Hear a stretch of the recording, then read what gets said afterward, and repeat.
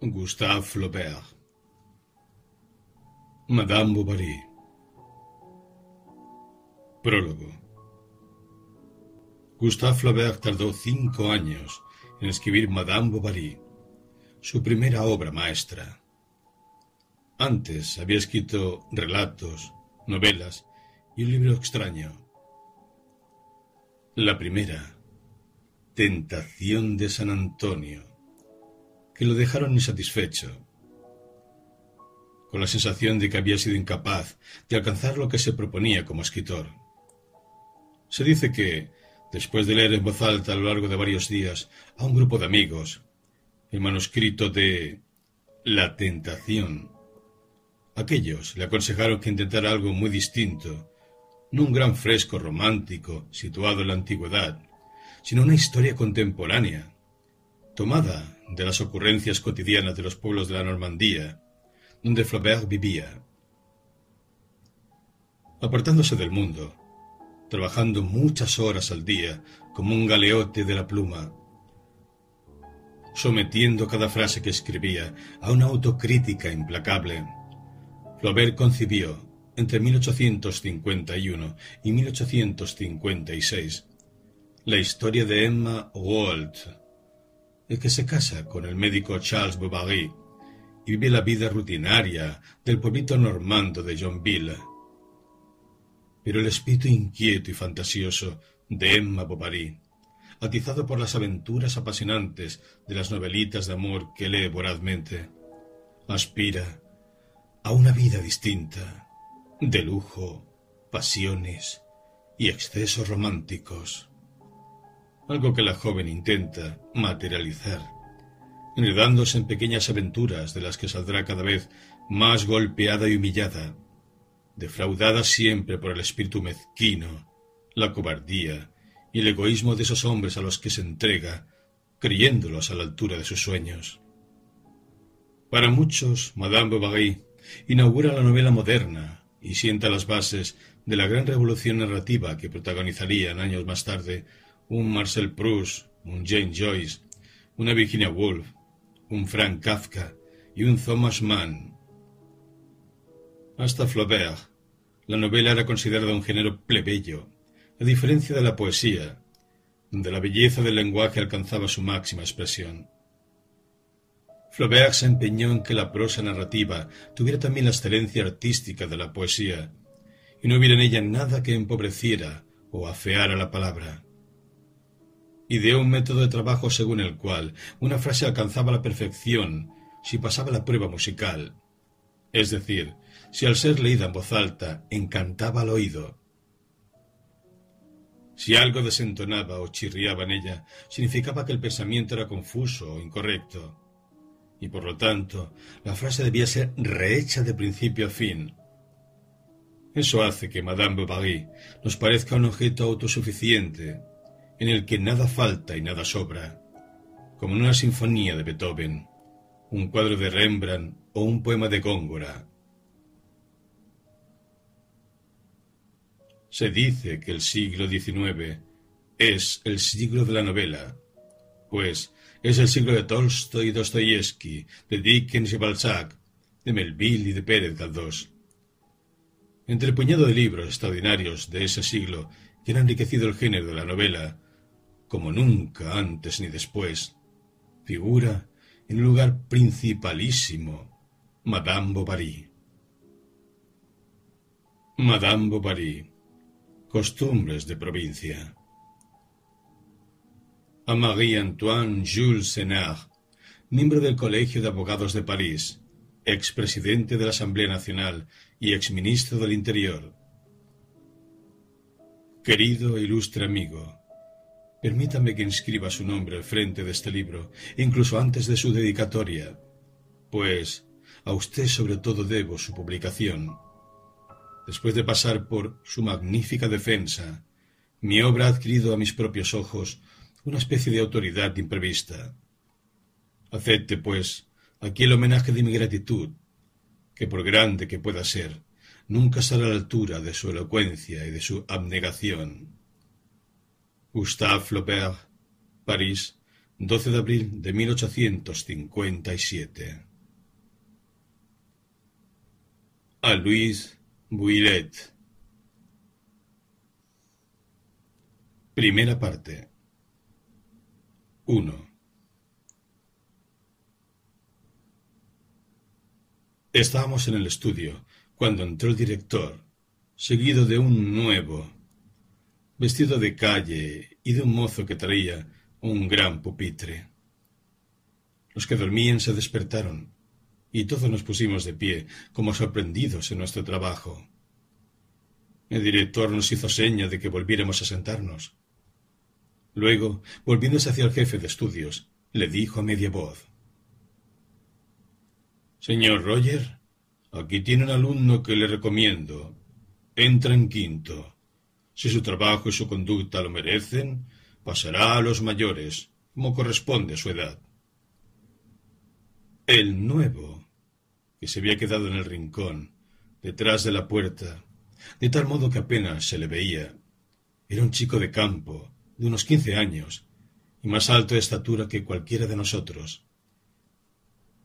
Llevaba el pelo cortado, recto, sobre la frente, como un santo de pueblo, y parecía formal y muy azorado aunque no fuera ancho de hombros, su casaca de paño verde con botones negros debía de molestarle en las sisas y dejaba ver, por las vueltas de las bocamangas, unas muñecas rojas habituadas a ir descubiertas. Sus piernas, con medias azules, saliendo un pantalón amarillento muy tensado por los tirantes. Calzaba unos recios zapatos mal lustrados y guarnecidos de clavos, empezamos el recitado de las lecciones. Las escuchó con los oídos muy abiertos, atento como si estuviera en el sermón, sin atreverse siquiera a cruzar las piernas ni apoyarse en el codo. Y a las dos, cuando sonó la campana, el jefe de estudios tuvo que avisarle para que se pusiera con nosotros en la fila. Al entrar en clase teníamos la costumbre de tirar nuestras gorras al suelo, para luego tener más libre las manos. Desde el umbral había que lanzarlas debajo del banco, de manera que golpeasen contra la pared, levantando mucho polvo. Eso era lo ideal. Pero, bien porque no se hubiera fijado en esa maniobra, o por no atreverse a someterse a ella, ya había acabado el rezo y el nuevo Seguía con la gorra sobre las rodillas. Era uno de esos tocados de orden compuesto, en el que se encuentran los elementos del casco de granadero, del chascás, del sombrero de copa, de la gorra de nutria y del gorro de dormir. En fin, una de esas cosas lamentables cuya muda fealdad tiene profundidades de expresión como el rostro de un imbécil ovoide y armada de ballenas, empezaba por tres rodetes circulares. Luego, separados por una tira roja, alternaban unos rombos de terciopelo con otros de piel de conejo. A continuación venía una especie de bolsa rematada por un polígono de cartón y cubierto de un bordado de complicados sutás, y del que pendía, en el extremo de un largo cordón demasiado delgado, un pequeño colgante de hilos de oro, en forma de borla. Era nueva. La visera relucía. Levántese, dijo el profesor. Él se levantó. La gorra cayó al suelo. Toda la clase se echó a reír. Se agachó para recogerla. A su lado, un compañero volvió a tirarla, empujándola con el codo. Él volvió a recogerla. Deje en paz su casco de una vez, dijo el profesor, que era hombre ocurrente. Las carcajadas de los escolares desconcertaron al pobre muchacho, tanto que no sabía si debía conservar su gorra en la mano, dejarla en el suelo o ponérsela en la cabeza. Volvió a sentarse y la colocó sobre sus rodillas. Levántese, continuó el profesor, y dígame su nombre. Farfullando. El nuevo articuló un nombre ininteligible. Repita. Se dejó oír la misma farfulla de sílabas, ahogada por los abucheos de la clase. Más alto. gritó el maestro. Más alto. El nuevo. Entonces, tomando una resolución extrema, abrió una boca desmesurada y a pleno pulmón, como quien llama a alguien, soltó esta palabra. ¡Charbovary! Se produjo entonces un alboroto que surgió de repente. Subió increchendo, con gritos agudos. Aullaban, ladraban, pateaban, mientras coreaban. ¡Charbovary! Rodó luego en notas aisladas, calmándose a duras penas y resurgiendo a veces de pronto la fila de un banco donde aún estallaba aquí y allá, como un petardo mal apagado, alguna risa reprimida. Mientras tanto, bajo una lluvia de castigos, el orden fue restableciéndose en la clase, y el profesor, que por fin logró entender el nombre de Charles Bovary, tras hacérselo dictar, deletrear y releer, mandó enseguida al pobre diablo que fuera a sentarse en el banco de los torpes, al pie de su tarima. Se puso en movimiento, pero antes de echar a andar vaciló. ¿Qué está buscando? preguntó el profesor. Mi go... dijo tímidamente el nuevo, paseando a su alrededor unas miradas inquietas. Quinientos versos a toda la clase. exclamando con voz furiosa, cortó en seco, como los quos ego, una nueva borrasca. A ver si están tranquilos. Seguía indignado el profesor, que se enjugaba la frente con un pañuelo que acababa de sacar de su bonete. Y usted, el nuevo, me copiará veinte veces el verbo ridiculus sum. Luego, en un tono más suave. Y ya encontrará su gorra que nadie se la ha robado. Todo volvió a la calma. Las cabezas se inclinaron sobre los cuadernos y el nuevo permaneció durante dos horas en una compostura ejemplar, por más que, de vez en cuando, alguna bolita de papel lanzada con el extremo de una plumilla fuera a estrellarse en su rostro. Pero él se limpiaba con la mano y seguía inmóvil, con los ojos bajos. Por la tarde, en el estudio, sacó sus manguitos del pupitre, puso en orden sus cosas y tiró cuidadosamente las rayas en su papel. Lo vimos trabajar a conciencia, buscando todas las palabras en el diccionario y esforzándose mucho. Gracias, sin duda, a esa buena voluntad de que dio prueba, no tuvo que bajar de clase, pues aunque sabía pasablemente las reglas, apenas mostraba elegancia en los giros. Había sido el cura de su pueblo el que lo inició en el latín, porque sus padres, para ahorrar, habían retrasado su envío al colegio cuanto les fue posible. Su padre, el señor Charles Denis Bartholomew Bovary, antiguo ayudante de cirujano mayor, comprometido hacia 1812 en asuntos de reclutamiento y forzado por esa época a dejar el ejército, había aprovechado entonces sus atractivos personales para cazar al vuelo una dote de sesenta mil francos que se le presentaba a la hija de un vendedor de géneros de punto, enamorada de su tipo. Buen mozo, petulante, de los que hacen resonar las espuelas, con unas patillas unidas al bigote, los dedos siempre cubiertos de sortijas y vestido de llamativos colores, tenía trazas de bravucón y la animación fácil de un viajante de comercio. Una vez casado, vivió dos o tres años de la fortuna de su mujer, cenando bien, levantándose tarde, fumando en grandes pipas de porcelana, no volviendo a casa por las noches hasta después del teatro y frecuentando los cafés. Murió su suegro y dejó poca cosa. Él se indignó, se metió fabricante, perdió en ello algún dinero, Luego se retiró al campo, donde quiso explotar sus tierras. Pero, como entendía tan poco de cultivos como de indianas, como montaba sus caballos en vez de enviarlos a la labor, se bebía su sidra en botellas en vez de venderla por barricas, se comía las mejores aves del corral y engrasaba sus botas de caza con el tocino de sus cerdos. No tardó en percatarse de que más le valía renunciar a toda especulación.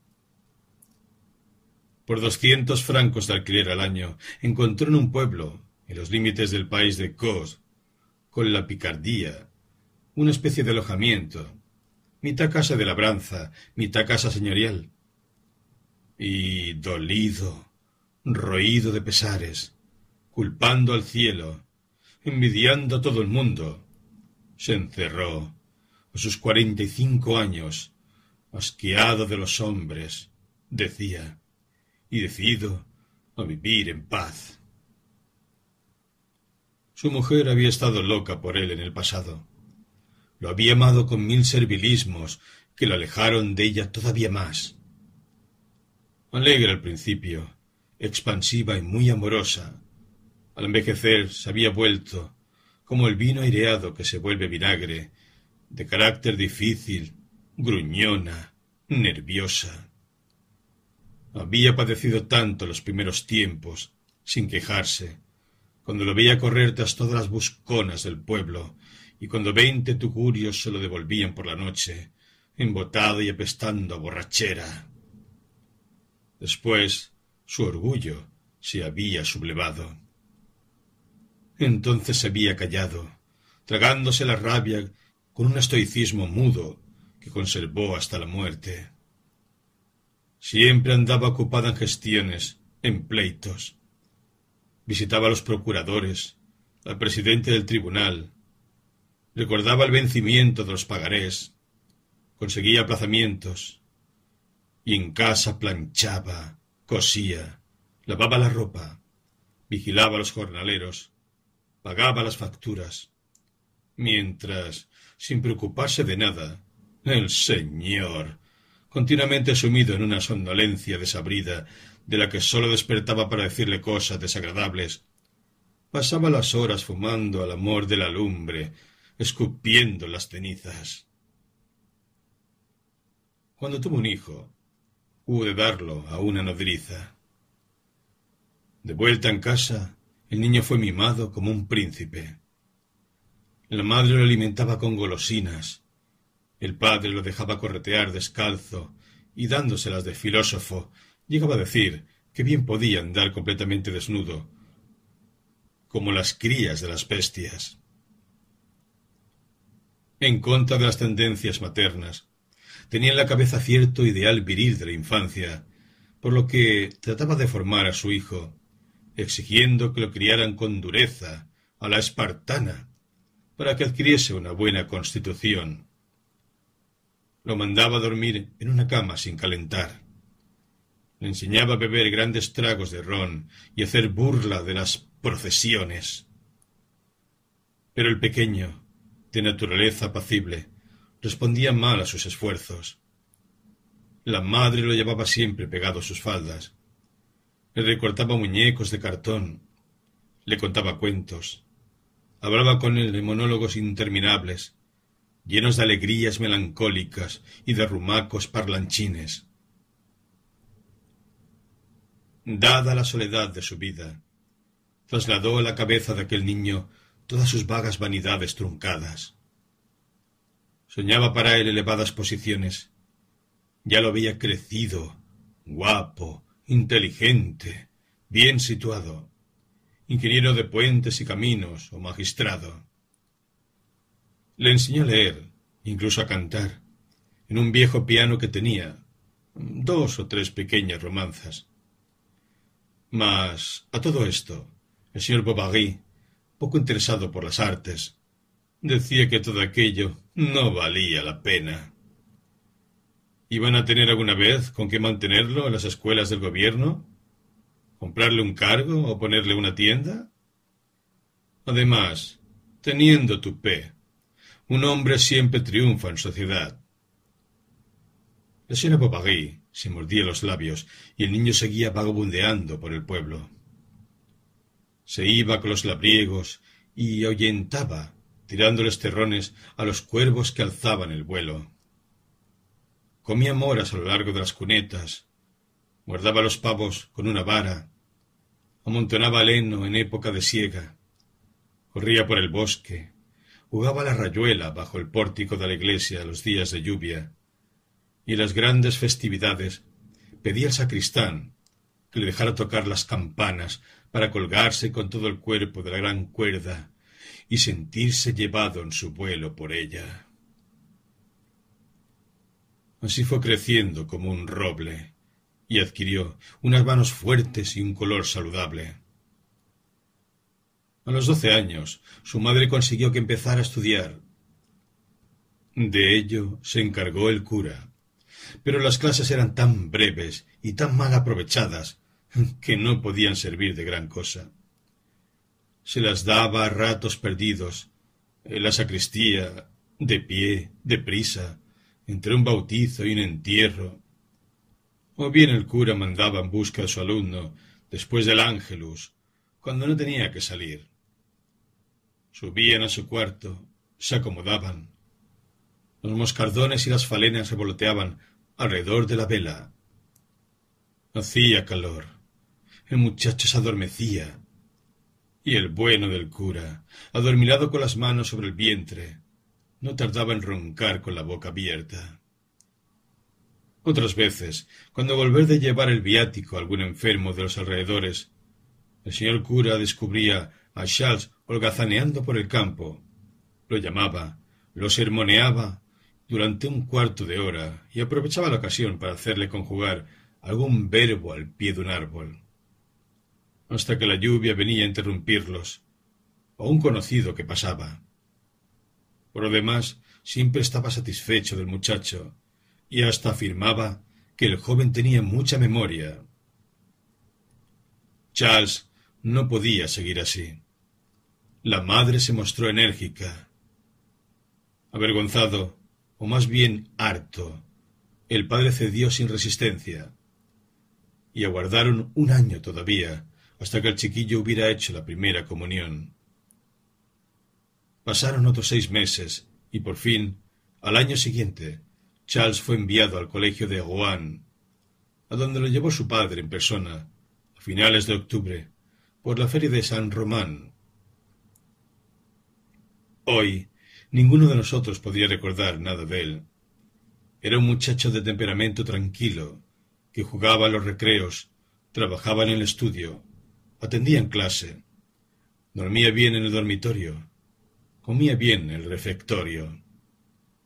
Tenía por tutor a un ferretero mayorista de la calle Gantarí, que lo sacaba una vez al mes, en domingo, después de cerrar la tienda. Lo mandaba pasear al puerto para que viera los barcos, y después lo devolví al colegio a eso de las siete, antes de la cena. Todos los jueves por la noche escribía una larga carta a su madre, con tinta roja y tres obleas. Luego repasaba sus cuadernos de historia, olía un viejo tomo de Anacarsis, que andaba rondando por el estudio. En los paseos charlaba con el criado, que era como él, de campo. A fuerza de aplicarse, se mantuvo siempre hacia la mitad de la clase. Una vez incluso llegó a ganar un primer accésit en historia natural. Pero, al terminar tercero, sus padres lo sacaron del colegio para hacerle estudiar medicina, convencidos de que sería capaz de terminar por sí solo el bachillerato. Su madre le buscó en un cuarto piso una habitación que daba al Eau de Robec, en casa de un tintorero conocido suyo. Ultimó las condiciones de su pensión. Se procuró muebles, una mesa y dos sillas. Hizo traer de su casa una vieja cama de cerezo silvestre y compró además una estufilla de hierro, junto con la provisión de leña que debía calentar a su pobre hijo. Y al cabo de una semana se marchó, después de insistir en que se portase bien ahora que iba a quedar abandonado a sí mismo. La lectura del programa de clases en el tablón de anuncios lo dejó aturdido. Clases de anatomía, clases de patología, clases de fisiología, clases de farmacia, clases de química y de botánica y de clínica y de terapéutica, sin contar la higiene ni la materia médica. Nombres todos cuyas etimologías ignoraba, y eran como otras tantas puertas de santuarios llenos de augustas tinieblas. No alcanzaba a comprender nada. Por más que atendía, no asimilaba. Y sin embargo, trabajaba. Tenía los cuadernos forrados, asistía a todas las clases, no se perdía una sola visita a los hospitales. Cumplía sus pequeñas tareas cotidianas como un caballo de noria, que da vueltas en el mismo sitio, con los ojos vendados, ignorante de la tarea que hace. Para ahorrarle gastos, su madre le enviaba todas las semanas, con el recadero, un pedazo de ternera asada al horno, con el que almorzaba nada más volver del hospital a mediodía, mientras golpeaba las suelas contra la pared. Luego tenía que salir corriendo a las clases, al anfiteatro, al hospicio, y volver atravesando todas las calles. Por la noche, después de la frugal cena de su casero, subía a su cuarto y se ponía a trabajar, con las mismas ropas mojadas que humeaban sobre su cuerpo, delante de la estufa al rojo vivo. En los bellos atardeceres de verano, a la hora en que las calles tibias se vacían, cuando las criadas juegan al volante en el umbral de los portales, abría la ventana y se acodaba en ella. El río, que hace de ese barrio de Aguán una especie de innoble pequeña Venecia, corría abajo, a sus pies, amarillo, violeta o azul, entre sus puentes y sus verjas. Obreros acuclillados en la orilla se lavaban los brazos en el agua. Sobre varas que salían de lo alto de los desvanes se secaban al aire madejas de algodón. Enfrente, más allá de los tejados, se extendía el amplio cielo puro, con el sol rojizo del poniente. Qué bien se debía de estar allí, qué frescor bajo el hayedo. Y abría las aletas de la nariz para aspirar los buenos olores del campo que no llegaban hasta él. Adelgazó, su cuerpo se estiró y su cara adquirió una especie de expresión doliente que casi la hizo interesante. De manera espontánea, por indolencia, terminó abandonando todas las resoluciones que se había impuesto. Una vez faltó a la visita, al día siguiente a clase, y poco a poco, saboreando la pereza, acabó por no volver.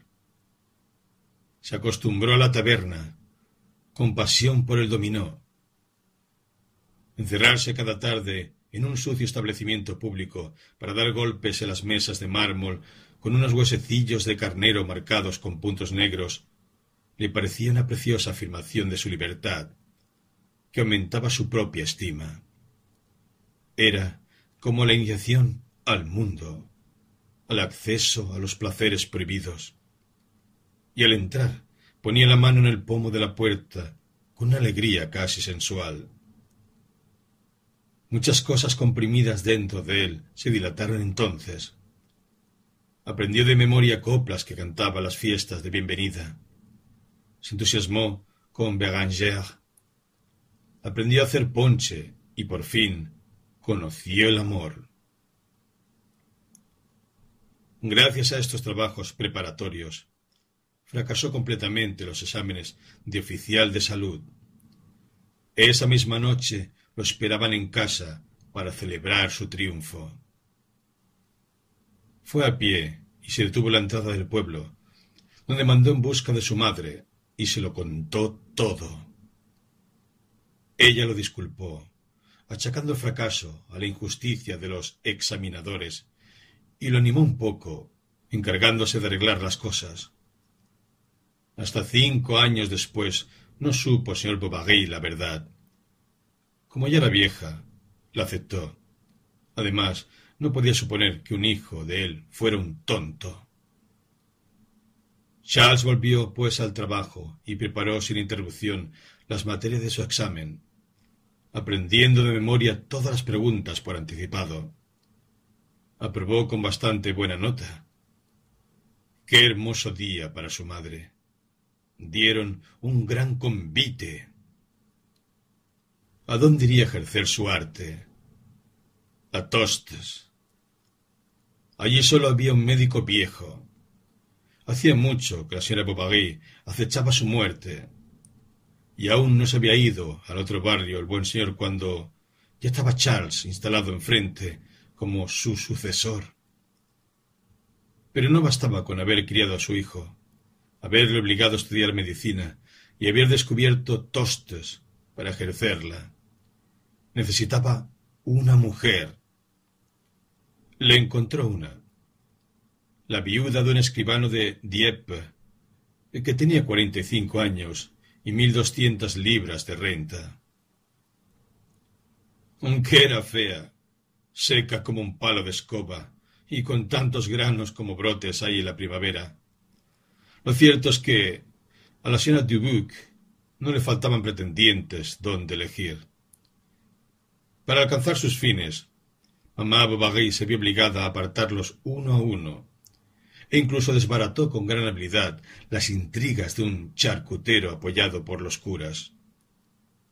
Charles había vislumbrado en el matrimonio el advenimiento de una situación mejor, imaginando que sería más libre y podía disponer de su persona y su dinero. Pero fue su mujer quien mandó. Delante de la gente, él tenía que decir esto, callar aquello. Debía ayunar los viernes, vestirse como a ella le parecía, apremiar por orden suya a los clientes que no pagaban. Le abría las cartas, espiaba sus pasos y escuchaba, a través del tabique, cuando en la consulta había mujeres. Había que hacerle chocolate todas las mañanas, colmarla de atenciones infinitas, se quejaba continuamente de los nervios, del pecho, de sus humores. La agobiaba el ruido de los pasos. Si se iban, la soledad se le volvía odiosa. Si volvían a su lado, era desde luego para verla morir. Por la noche, cuando Charles regresaba, sacaba de debajo de las sábanas sus largos brazos flacos para pasárselos alrededor del cuello y haciéndola sentarse en el borde de la cama, le hablaba de sus penas. La tenía abandonada. Quería otra. Con razón le habían dicho que sería desgraciada. Y acababa pidiéndole algún jarabe para su salud y un poco más de cariño. Capítulo segundo Una noche, hacia las once, lo despertó el ruido de un caballo que se paró justo en la misma puerta. La muchacha abrió la claraboya del desván y habló un rato con un hombre que estaba en la calle. Venía en busca del médico. Traía una carta. Anastasia bajó las escaleras tiritando y fue a abrir la cerradura y los cerrojos, uno tras otro. El hombre dejó su caballo entró inmediatamente detrás de ella. Sacó de su gorro de lana con borlas una carta envuelta en un trapo y se la presentó cuidadosamente a Carlos, quien se apoyó sobre la almohada para leerla. Anastasia, cerca de la cama, sostenía la luz. La señora, por pudor, permanecía vuelta hacia la pared dando la espalda. La carta, cerrada con un pequeño sello de cera azul, suplicaba al señor Bovary que fuese inmediatamente a la granja de Berthaud para componer una pierna rota. Ahora bien, de Tostes a Le Berthaud hay seis leguas de camino, pasando por Longueville y Saint-Victor. La noche estaba oscura. La señora Bovary temía que a su marido le pasara algo, así que decidió que el mozo de mulas fuese delante. Carlos se pondría en camino tres horas después, al salir la luna. Enviarían un muchacho a su encuentro para que le enseñase el camino de la granja y les abriese la valla. Hacia las cuatro de la mañana, Carlos, bien enfundado en su abrigo, se puso en camino para Le. Todavía medio dormido por el calor del sueño, se dejaba mecer al trote pacífico de su caballo. Cuando éste se paraba instintivamente ante esos hoyos rodeados de espinos que se abren a la orilla de los surcos, Carlos, despertándose sobresaltado, se acordaba de la pierna rota intentar refrescar en su memoria todos los tipos de fractura que conocía. Ya había cesado de llover. Comenzaba a apuntar el día, y las ramas de los manzanos sin hojas unos pájaros se mantenían inmóviles, erizando sus plumitas al viento frío de la mañana. El campo ya no se extendía hasta perderse de vista, y los pequeños grupos de árboles en torno a las granjas formaban, a intervalos alejados, unas manchas de un violeta oscuro sobre aquella gran superficie gris que se perdía en el horizonte, en el tono mortecino del cielo. Carlos abría los ojos de vez en cuando. Después, cansada su mente y volviendo a coger el sueño, entraba en una especie de modorra en la que, confundiéndose sus sensaciones recientes con los recuerdos, se percibía a sí mismo con doble personalidad, a la vez estudiante y casado, acostado en su cama como hacía un momento, atravesando una sala de operaciones como hacía tiempo. El olor caliente de las cataplasmas se mezclaba en su cabeza con el verde olor del rocío. Escuchaba correr sobre la barra los anillos de hierro de las camas y oía dormir a su mujer. Al pasar por Basonville, distinguió, a la orilla de una cuneta, a un muchacho joven sentado sobre la hierba. ¿Es usted médico? preguntó el chico. Y a la respuesta de Carlos, cogió los zuecos en la mano y echó a correr delante. El médico, durante el camino, comprendió, por lo que decía su guía, que el señor Rouault debía de ser un agricultor acomodado. Se había roto la pierna la víspera, de noche, cuando regresaba de celebrar la fiesta de los reyes de casa de un vecino. Su mujer había fallecido hacía dos años.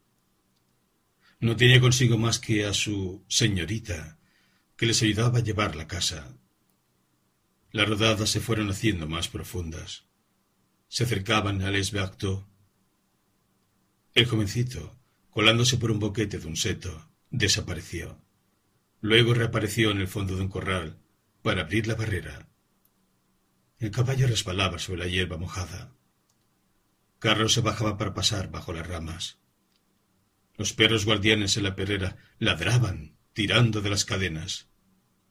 Cuando entró en Le su caballo se espantó y reculó. Era una granja de buena apariencia. En las cuadras, por encima de las puertas abiertas, se veían grandes caballos de labranza comiendo tranquilamente en pesebres nuevos. A lo largo de las instalaciones se extendía un estercolero de donde ascendía un vaho, y en el que entre las gallinas y los pavos picoteaban cinco o seis pavos reales, lujo de los corrales del país de Co. El corral era largo, el granero era alto, de paredes lisas como la mano. Debajo del cobertizo había dos grandes carros y cuatro arados, con sus látigos, sus colleras, sus aparejos completos, cuyos vellones de lana azul se ensuciaban con el fino polvo que caía de los graneros. El corral iba ascendiendo, plantado de árboles simétricamente espaciados, y cerca de la charca se oía el alegre granido de un rebaño de gansos. Una mujer joven, en bata de merino azul, adornada con tres volantes, vino a la puerta a recibir al sorbo Bagui y le llevó a la cocina, donde ardía un buen fuego, a cuyo alrededor, en ollitas de tamaño desigual, hervía el almuerzo de los jornaleros. En el interior de la chimenea había ropas húmedas puestas a secar. La paleta, las tenazas y el tubo del fuelle, todo ello de proporciones colosales, brillaban como acero pulido, mientras que a lo largo de las paredes se reflejaba de manera desigual la clara llama del hogar, junto con los primeros resplandores del sol que entraba por los cristales. Carlos subió al primer piso a ver al enfermo. Lo encontró en cama, sudando bajo las mantas y sin su gorra de algodón, que había arrojado muy lejos. Era un hombre pequeño y gordo, de unos cincuenta años, de tez blanca, ojos azules, calvo por delante de la cabeza y que llevaba pendientes. A su lado, sobre una silla, había una gran botella de aguardiente, de la que se servía de vez en cuando para darse ánimos. Pero en cuanto vio al médico, cesó de exaltarse, y, en vez de jurar como estaba haciendo desde hacía doce horas, empieza a quejarse débilmente. La fractura era sencilla, sin ninguna complicación. Carlos no se hubiera atrevido a desearla más fácil. Y entonces, recordando las actitudes de sus maestros junto a la cama de los heridos, reconfortó al paciente con toda clase de buenas palabras, caricias quirúrgicas, que son como el aceite con que se engrasa los bisturíes. Para preparar unas tablillas, fueron a buscar en la cochera un montón de listones. Carlos escogió uno, lo partió en pedazos y lo pulió con un vidrio, mientras que la criada rasgaba una sábana para hacer vendas y la señorita Emma trataba de coser unas almohadillas. Como tardó mucho en encontrar su costurero, su padre se impacientó. Ella no dijo nada, pero al coser se pinchaba los dedos, que se llevaba enseguida a la boca para chuparlos. Carlos se sorprendió de la blancura de sus uñas. Eran brillantes, finas en la punta, más limpias que los marfiles de Dieppe y recortadas en forma de almendra. Su mano, sin embargo, no era bonita, quizá no bastante pálida y un poco seca las falanges. Era también demasiado larga y sin suaves inflexiones de líneas en los contornos. Lo que tenía más hermoso eran los ojos, aunque eran castaños. Parecían negros a causa de las pestañas, y su mirada franca atraía con una audacia cándida. Una vez hecha la cura, el propio señor Gaulle invitó al médico a tomar un bocado antes de marcharse. Carlos bajó a la sala, en la planta baja. En una mesita situada al pie de una gran cama con dosel, cubierto de tela estampada, con personajes que representaban a turcos, había dos cubiertos con vasos de plata. Se percibía un olor a lirio y a sábanas húmedas que salía del alto armario de madera de roble situado frente a la ventana. En el suelo, en los rincones, alineados de pie, había unos sacos de trigo. Era el que no cabía en el granero próximo, al que se subía por tres escalones de piedra. Decorando la estancia, en el centro de la pared, cuya pintura verde se desconchaba por efecto del salitre, colgaba de un clavo una cabeza de Minerva, dibujada a lápiz negro, con un marco dorado, y que llevaba abajo, escrito en letras góticas, A mi querido papá. Primero hablaron del enfermo, luego del tiempo que hacía, de los grandes fríos, de los lobos que merodeaban por el campo de noche. La señorita Wall no se divertía nada en el campo sobre todo ahora que tenía a su cargo ella sola los trabajos de la granja. Como la sala estaba fresca, tritaba mientras comía, lo cual descubría un poco sus labios carnosos, que tienen la costumbre de morderse en sus momentos de silencio. Llevaba un cuello vuelto blanco. Sus cabellos, cuyos bandos negros parecían cada uno de una sola pieza de lisos que estaban, se separaban por una raya fina que se hundía ligeramente siguiendo la curva del cráneo. Y dejando ver apenas el lóbulo de la oreja, iban a recogerse por detrás de un moño abundante, con un movimiento ondulado hacia las sienes que el médico rural observó entonces por primera vez en su vida. sus pómulos eran rosados. Llevaba, como un hombre, sujetos entre los dos botones de su corpiño, unos lentes de concha. Cuando Carlos, después de haber subido a despedirse del señor Wall, volvió a la sala antes de marcharse, encontró a la señorita de pie, la frente apoyada en la ventana y mirando el jardín donde el viento había tirado los rodrigones de las judías. Se volvió. ¿Busca algo? preguntó. Eh, mi fusta, por favor, repuso el médico. Y se puso a buscar sobre la cama, detrás de las puertas, debajo de las sillas. Se había caído al suelo entre los sacos y la pared. La señorita Emma la vio. Se inclinó sobre los sacos de trigo. Carlos, por galantería, se precipitó hacia ella y al alargar también el brazo en el mismo movimiento, sintió que su pecho rozaba la espalda de la joven, inclinada debajo de él. Emma se incorporó toda colorada y le miró por encima del hombro mientras le alargaba el látigo. En vez de volver a Le Berthaud, tres días después, como había prometido, volvió al día siguiente. Luego, dos veces por semana regularmente, sin contar las visitas inesperadas que hacía de vez en cuando, como sin dar importancia. Por lo demás, todo fue bien. El proceso de curación fue normal, y cuando, al cabo de cuarenta y seis días, vieron que el tío Wall comenzaba a caminar solo por su chabola, empezaron a considerar al señor Bobagui como un hombre de gran capacidad. El tío Wall decía que no le habrían curado mejor los médicos de Ibetot o incluso los de Rouen. En cuanto a Carlos, no se esforzaba mucho en averiguar eh, por qué iba a de buena gana. De habérselo planteado, sin duda habría atribuido su celo a la gravedad del caso, o quizás al provecho que esperaba sacar.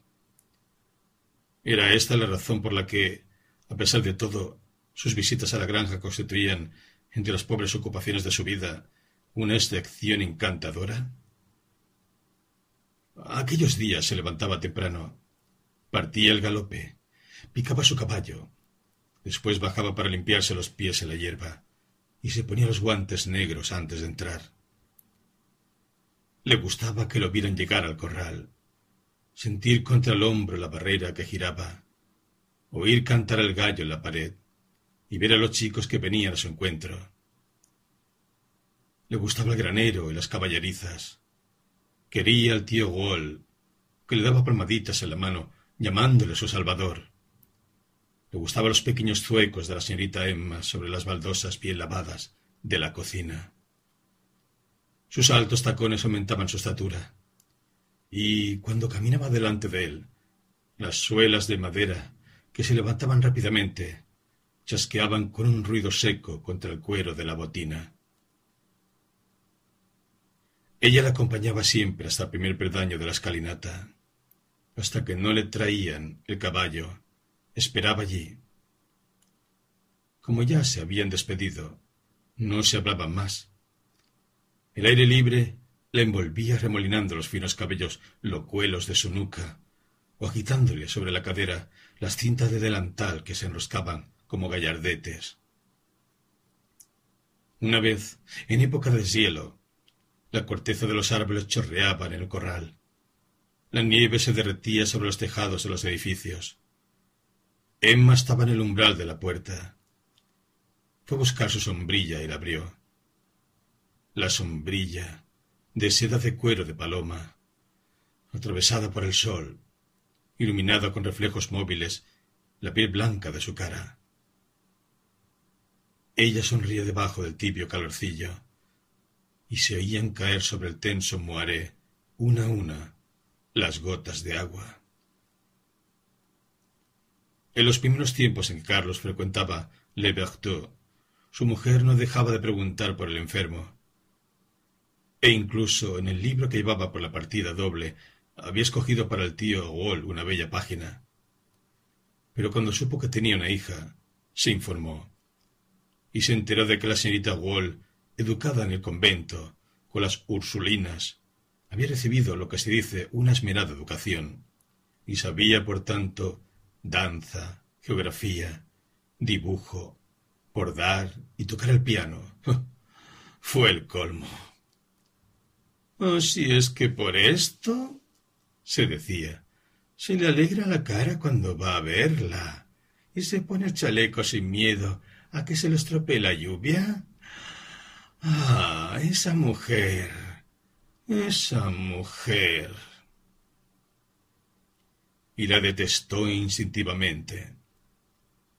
Al principio se desahogó con alusiones que Carlos no comprendió. Luego, con reflexiones ocasionales que él dejaba pasar por miedo a la tormenta. Finalmente, con ataques a quemar ropa a los que no sabía qué contestar. ¿Por qué volvía al Berthaud si el tío Wall estaba curado y aquella gente aún no había pagado? Ah, es que había allí una persona alguien que sabe llevar una conversación, bordar, una persona instruida. Era esto lo que le gustaba. Necesitaba señoritas de ciudad. Y proseguía. La hija del tío Wall, una señorita de ciudad. Bueno, si su abuelo era pastor y tienen un primo que ha estado a punto de ser procesado por golpes en una disputa, no vale la pena darse tanto pisto, ni presumir los domingos a la iglesia con un traje de seda como una condesa. Además, pobre hombre, que si no fuera por las colzas del año pasado, habría tenido problemas para pagar deudas pendientes. Por cansancio, Carlos dejó de volver al Beactó. Eloísa le había hecho jurar con la mano sobre el libro de misa, después de muchos sollozos y besos, en una gran explosión de amor, que no volvería más. Así que obedeció.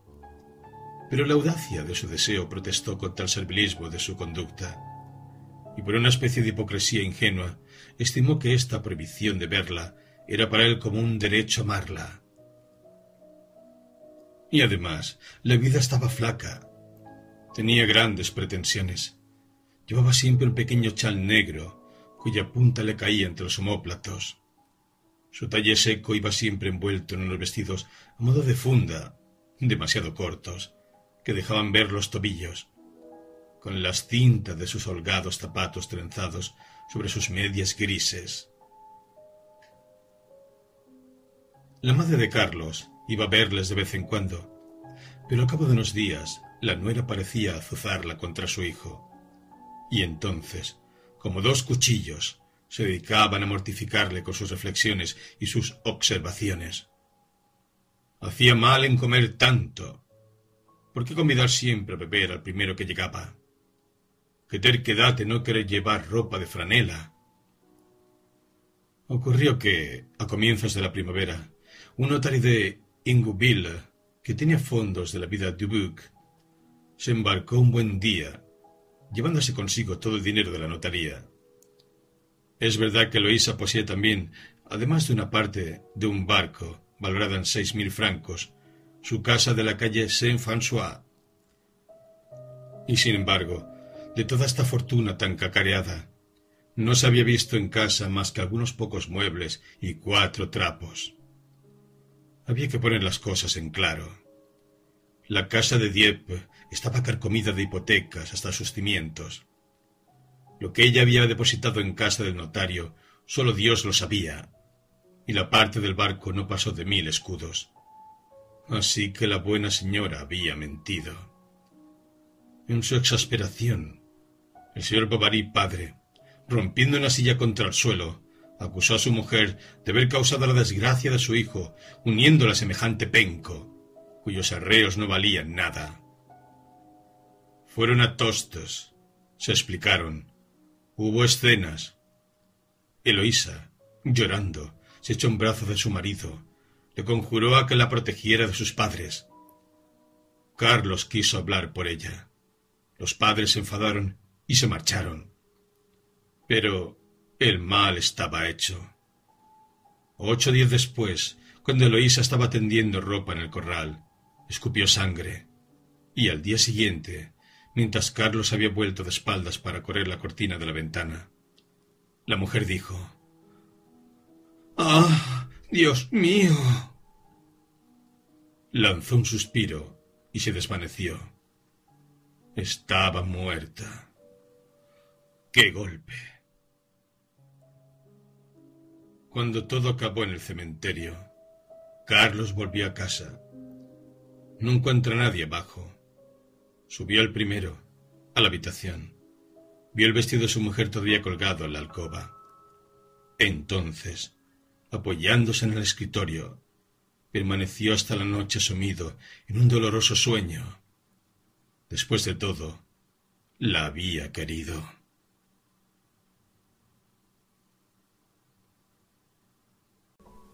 Capítulo tercero Una mañana, el tío Wall fue a pagar a Carlos los honorarios por el arreglo de su pierna. Setenta y cinco francos en monedas de cuarenta sueldos y un pavo.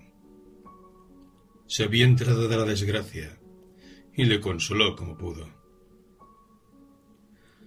Ya sé lo que es eso, decía dándole palmaditas en el hombro. Yo también he pasado por ese trance. Cuando perdí a mi pobre difunta, me iba por los campos para estar solo. Caía al pie de un árbol, lloraba, invocaba a Dios, decía tonterías. Hubiera querido estar como los topos que veía colgados de las ramas con el vientre corroído por los gusanos. Muerto, en una palabra. Y cuando pensaba que otros en aquel momento estaban estrechando a sus buenas mujercitas, golpeaba fuertemente con mi bastón. Estaba como loco. Ya no comía. La sola idea de ir al café, puede creerme, me asqueaba. Pues bien, muy suavemente, un día tras otro, primavera tras primavera y otoño tras verano. Aquello se fue pasando brinda brinda, migaja, migaja. Aquello se fue, desapareció. Bajo. Es un decir, pues siempre queda algo en el fondo como quien dice. Un peso aquí, en el pecho. Pero es como el destino de todos. No hay que dejarse de caer, y porque otros hayan muerto, querer morir. Hay que reanimarse, señor Bovary. Eso le pasará. Venga, vamos. Mi hija piensa en usted de vez en cuando. Ya lo sabe usted. Y ella dice, ya lo sabe también, que usted la olvida. Pronto llegará la primavera. Iremos a tirar a los conejos para que se extraiga un poco. Carlos siguió su consejo. Volvió a Le Encontró todo como el día anterior. Es decir, como hacía cinco meses. Los perales estaban ya en flor y el buen señor Wall, ya curado, iba y venía, lo cual daba más vida a la granja. Creyéndose en el deber de prodigar al médico las mayores cortesías posibles por un luto reciente, le rogó que no se descubriera. Le habló en voz baja, como si hubiera estado enfermo, e incluso aparentó enfadarse porque no se había preparado para él algo más ligero que para los demás como unos tarritos de nata o unas peras cocidas. Contó chistes. Carlos hasta llegó a reír, pero recordar de pronto a su mujer se entristeció. Sirvieron el café y ya no volvió a pensar en ella. Recordó menos, a medida que se iba acostumbrando a vivir solo. El nuevo atractivo de la independencia pronto le hizo la soledad más soportable. Ahora podía cambiar las horas de sus comidas, entrar y salir sin dar explicaciones, y cuando estaba muy cansado, extender brazos y piernas a todo lo ancho de su cama. Así que se cuidó, se dio buena vida y aceptó los consuelos que le daban. Por otra parte, la muerte de su mujer no le había perjudicado en su profesión, pues durante un mes estuvo hablando de él. Este pobre joven, qué desgracia. Su nombre se había extendido, su clientela se había acrecentado, y además iba al con toda libertad. Tenía una esperanza indefinida, una felicidad vaga. Se encontraba la cara más agradable cuando se cepillaba sus patillas delante del espejo. Un día llegó hacia las tres. Todo el mundo estaba en el campo. Entró en la cocina, pero al principio no vio a Emma. Los postigos estaban cerrados. Por las rendijas de la madera el sol proyectaba sobre las baldosas grandes rayas delgadas que se quebraban en las aristas de los muebles y temblaban en el techo. Sobre la mesa algunas moscas trepaban por los vasos sucios y zumbaban, ahogándose en la sidra que había quedado en el fondo. La luz que bajaba por la chimenea, aterciopelando el hollín de la plancha, coloreaba de un suave tono azulado las cenizas frías. Entre la ventana y el fogón estaba Emma cosiendo. No llevaba pañoleta y sobre sus hombros descubiertos se veían gotitas de sudor. Según costumbre del campo, le invitó a tomar algo. Él no aceptó. Ella insistió y por fin propuso, riendo, tomar juntos una copita de licor. Fue a buscar en la alacena una botella de curasao. Alcanzó dos copitas. Llenó una hasta el borde. Echó unas gotas en la otra. Y después de brindar, la llevó a sus labios. Como estaba casi vacía, se echaba hacia atrás para beber. Y con la cabeza inclinada hacia atrás, los labios adelantados, el cuello tenso, se reía de no sentir nada, mientras que, sacando la punta de la lengua entre sus finos dientes, lamía despacito el fondo del vaso. Volvió a sentarse y reanudó su labor. El zurcido de una media de algodón blanca. Trabajaba con la frente inclinada. No hablaba.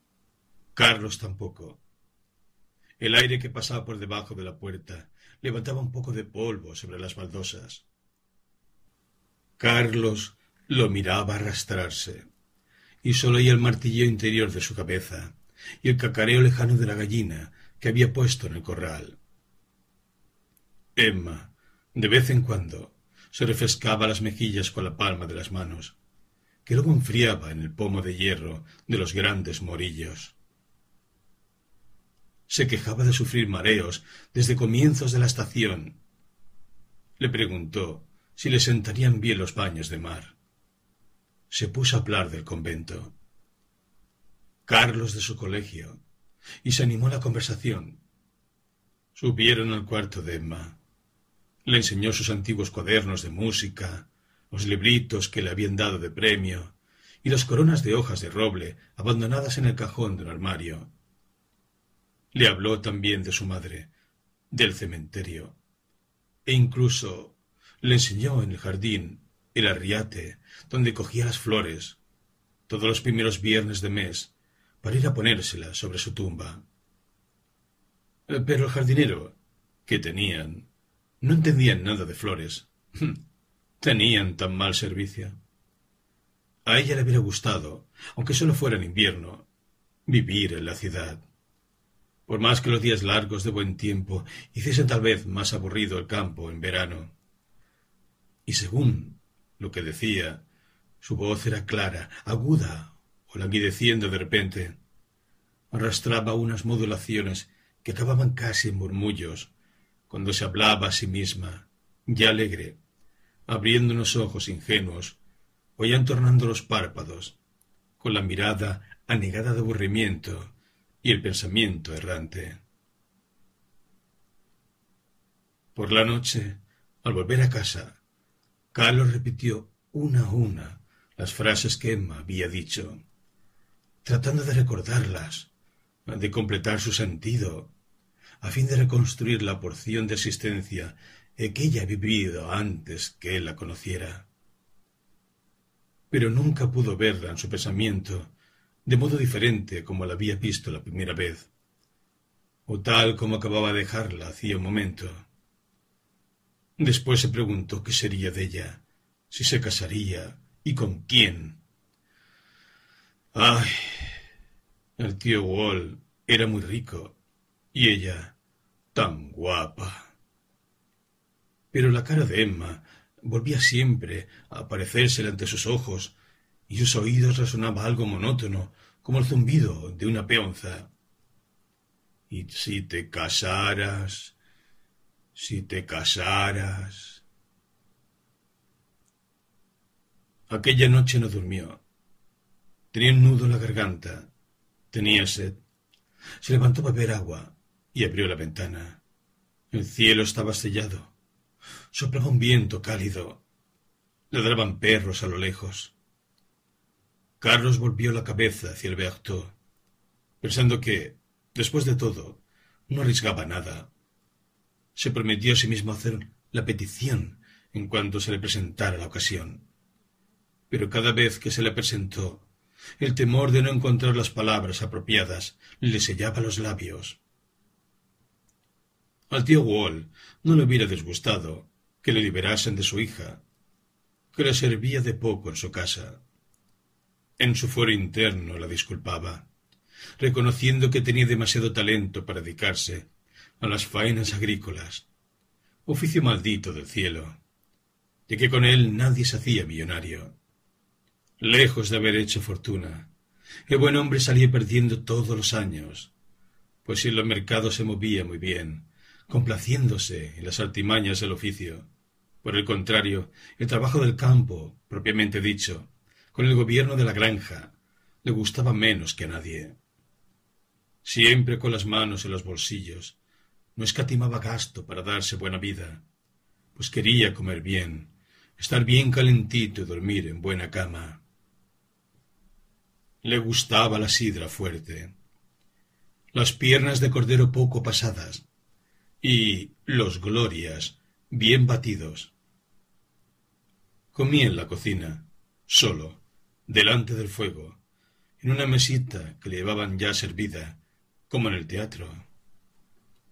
Así que, viendo que Carlos se ponía colorado cuando estaba junto a su hija, lo cual significaba que uno de aquellos días la pediría matrimonio, fue rumiando por anticipado todo el asunto. Lo encontraba un poco alfeñique, y no era el yerno que habría deseado, pero tenía fama de buena conducta, económico, instruido, y sin duda no regatearía mucho por la dote. Ahora bien, como el tío Wall iba a tener que vender veintidós acres de su hacienda, eh, pues debía mucho al albañil, mucho al guarnicionero, y había que cambiar el árbol del lagar, se dijo. Si me la pide, se la doy. Por San Miguel. Carlos fue a pasar tres días a Le Berthaud. El último día transcurrió como los anteriores, aplazando su declaración de cuarto en cuarto de hora. El tío Wall lo acompañó un trecho. Iban por un camino hondo y estaban a punto de despedirse. Era el momento. Carlos se señaló como límite el recodo del seto y por fin, cuando lo sobrepasó, murmuró. Señor Ruol, quisiera decirle una cosa. Se pararon. Carlos callaba. Eh, pero cuénteme su historia. ¿Se cree que no estoy ya enterado de todo? dijo el tío Wall, riendo suavemente. Eh, tío Wall. Tío Wall. balbució Carlos. Yo no deseo otra cosa, continuó el granjero aunque sin duda la niña piensa como yo. Habrá que pedirle su parecer. Bueno, váyase. Yo me vuelvo a casa. Si es que sí, óigame bien, no hace falta que vuelva, por la gente, y además, a ella le impresionaría demasiado. Pero para que usted no se consuma de impaciencia, abriré de par en par el postigo de la ventana contra la pared. Usted podrá verlo mirando atrás, encaramándose sobre el seto. Y se alejó. Carlos ató su caballo en árbol. Corrió a apostarse en el sendero. Esperó. Pasó media hora. Después contó diecinueve minutos por su reloj. De pronto se produjo un ruido contra la pared. Se había abierto el postigo. La aldabilla temblaba todavía. Al día siguiente, a las nueve, estaba la granja. Emma se puso colorada cuando entró, pero se sostuvo, se esforzó por sonreír un poco. El tío Wall abrazó a su futuro yerno. Se pusieron a hablar de las cuestiones de intereses. Por otra parte, tenían tiempo por delante, puesto que no estaba bien que se celebrase la boda hasta que terminase el luto de Carlos, es decir, hacia la primavera del año siguiente. En esta espera transcurrió el invierno. La señorita Wall se ocupó de su equipo. Una parte de él lo encargó a Juan, y ella misma se hizo camisas y gorros de noche con arreglo dibujos de moda que le prestaron. En las visitas que Carlos hacía a la granja, hablaban de los preparativos de la boda. Se preguntaba dónde se daría el banquete. Pensaban en la cantidad de platos que pondrían y qué entrantes iban a servir. A Emma, por su parte, le hubiera gustado casarse a medianoche, a la luz de las antorchas. Pero el tío Wall no compartió en absoluto esta idea. Se celebró, pues, una boda en la que hubo cuarenta y tres invitados. Estuvieron dieciséis horas sentados a la mesa, y la fiesta se repitió al día siguiente y un poco los días sucesivos. Capítulo cuarto Los invitados llegaron temprano en coches, carricoches de un caballo, charavanes de dos ruedas, viejos cabriolets sin capota, jardineras con cortinas de cuero, y los jóvenes de los pueblos más cercanos, en carretas, de pie, en fila, con las manos apoyadas sobre los adrales para no caerse, puesto que iban al trote y eran fuertemente zarandeados. Vinieron de diez leguas a la redonda, de Godville, de Normanville y de Canny, habían invitado a todos los parientes de las dos familias. Se habían reconciliado con los amigos con quienes estaban reñidos. Habían escrito a los conocidos que no habían visto desde hacía mucho tiempo. De vez en cuando se oían latigazos detrás del seto. Enseguida se abría la barrera. Era un carricoche que entraba.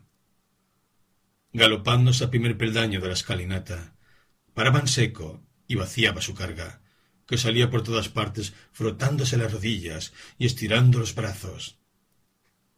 Las señoras, de gorro, llevaban vestidos a la moda de la ciudad, cadenas de reloj de oro, esclavinas con las puntas cruzadas en la cintura, o pequeños chales de color, sujetos a la espalda con un alfiler, dejando el cuello descubierto por detrás.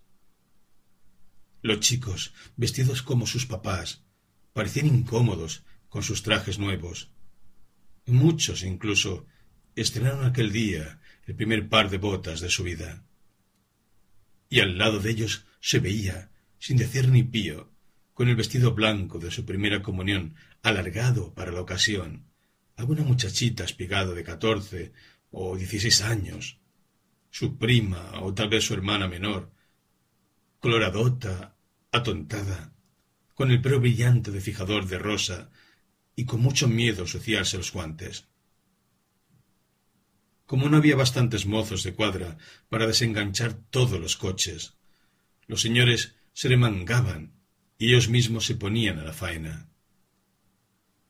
Según su diferente posición social, vestían fracs, levitas, chaquetas, chaqués, buenos trajes que conservaban como recuerdo de familia y que no salían del armario más que en las solemnidades.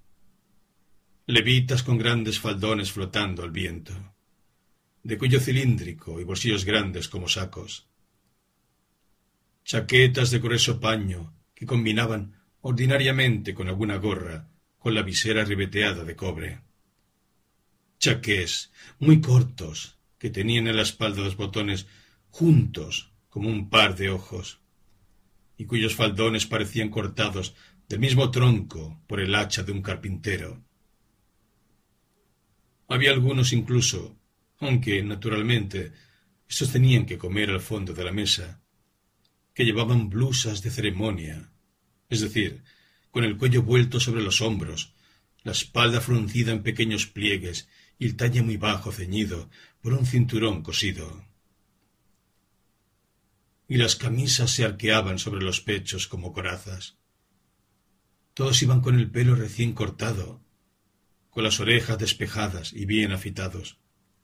Incluso algunos, que se habían levantado antes del amanecer, como no veían bien para afitarse, tenían cortes en diagonal debajo de la nariz o a lo largo de las mejillas raspaduras del tamaño de una moneda de tres francos que se habían hinchado por el camino al contacto con el aire libre, lo cual jaspeaba un poco de manchas rosas todas aquellas gruesas caras blancas satisfechas.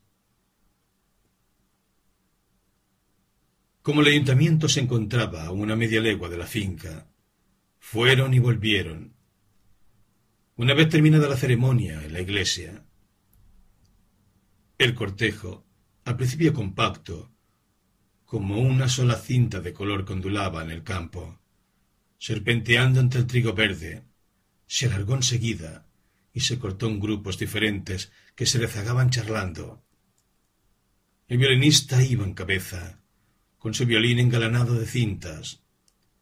A continuación marchaban los novios, los padres, los amigos todos revueltos, y los niños se quedaban atrás, entreteniéndose en arrancar las campanillas de los tallos de avena, o peleándose sin que ellos los vieran. El vestido de Emma, muy largo, arrastraba un poco.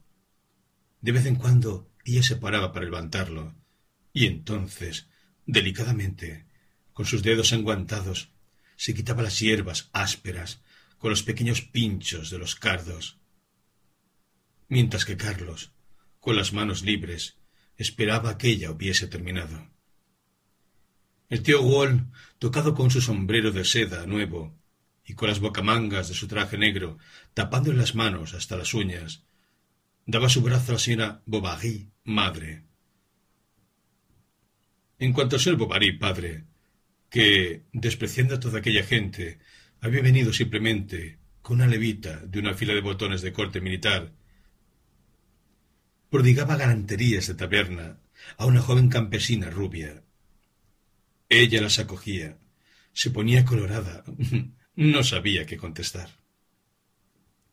Los demás hablaban de sus asuntos o se hacían travesuras por detrás, provocando anticipadamente el colgorio y aplicando el oído, se seguía oyendo el rasgueo del violinista que continuaba tocando en pleno campo, cuando se daba cuenta de que la gente se retrasaba, se paraba a tomar aliento, enceraba, frotaba con colofonía su arco para que las cuerdas chirriasen mejor, y luego reemprendía su marcha, bajando y subiendo alternativamente el mástil de su violín, para marcarse bien el compás a sí mismo. El ruido del instrumento espantaba de lejos a los pajaritos. La mesa estaba puesta bajo el cobertizo de los carros. Había cuatro solomillos, seis pollos en pepitoria, ternera guisada, tres piernas de cordero, y en el centro un hermoso lechón asado rodeado de cuatro morcillas con acederas. En las esquinas estaban dispuestas botellas de aguardiente. La sidra dulce embotellada rebosaba su espuma espesa alrededor de los tapones, y todos los vasos estaban ya llenos de vino hasta el borde. Grandes fuentes de natillas amarillas que se movían solas al menor choque de la mesa. Presentaban, dibujadas sobre su superficie lisa, las iniciales de los nuevos esposos en arabescos de finos rasgos. Habían ido a buscar un pastelero a Ibetot para las tortadas y los guirlaches.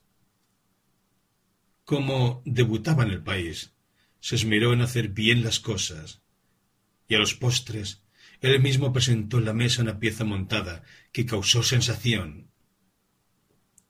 Primeramente, en la base había un cuadrado de cartón azul que figuraba un templo con pórticos, columnatas y estatuillas de estuco todo alrededor, en hornacinas consteladas de estrellas de papel dorado. Después, en el segundo piso, se erguía un torreón en bizcocho de Saboya, rodeado de pequeñas fortificaciones de angélica, almendras, uvas pasas, cuarterones de naranjas, y finalmente, en la plataforma superior, que era una pradera verde donde había rocas con lagos de confituras y barcos de cáscaras de avellanas, se veía un amorcillo balanceándose en un columpio de chocolate, cuyos dos postes terminaban en dos capullos naturales, a modo de bolas, en la punta. Estuvieron comiendo hasta la noche. Cuando se cansaban de estar sentados, se paseaban por los patios, o iban a jugar un partido de chito al granero. Después volvían a la mesa. Algunos, hacia el final, se quedaron dormidos y roncaron. Pero a la hora del café todo se reanimó. Empezaron a cantar, probaron su fuerza, transportaban pesos, hacían con los pulgares gestos de un gusto dudoso. Intentaba levantar las carretas sobre sus hombros y se contaban chistes picantes. Abrazaban a las señoras. De noche, a la hora de marcharse, los caballos, hartos de avena hasta las narices, tuvieron dificultades para entrar en los varales. Daban coces, se encabritaban. Los arreos se rompían. Sus amos blasfemaban o reían, y toda la noche, a la luz de la luna, por los caminos del país pasaron carricoches desbocados que corrían a galope tendido, dando botes en las zanjas, saltando por encima de la grava, rozando con los taludes, con mujeres que se asomaban por la portezuela para coger las riendas. Los que quedaron en Les pasaron la noche bebiendo en la cocina. Los niños habían quedado dormidos debajo de los bancos.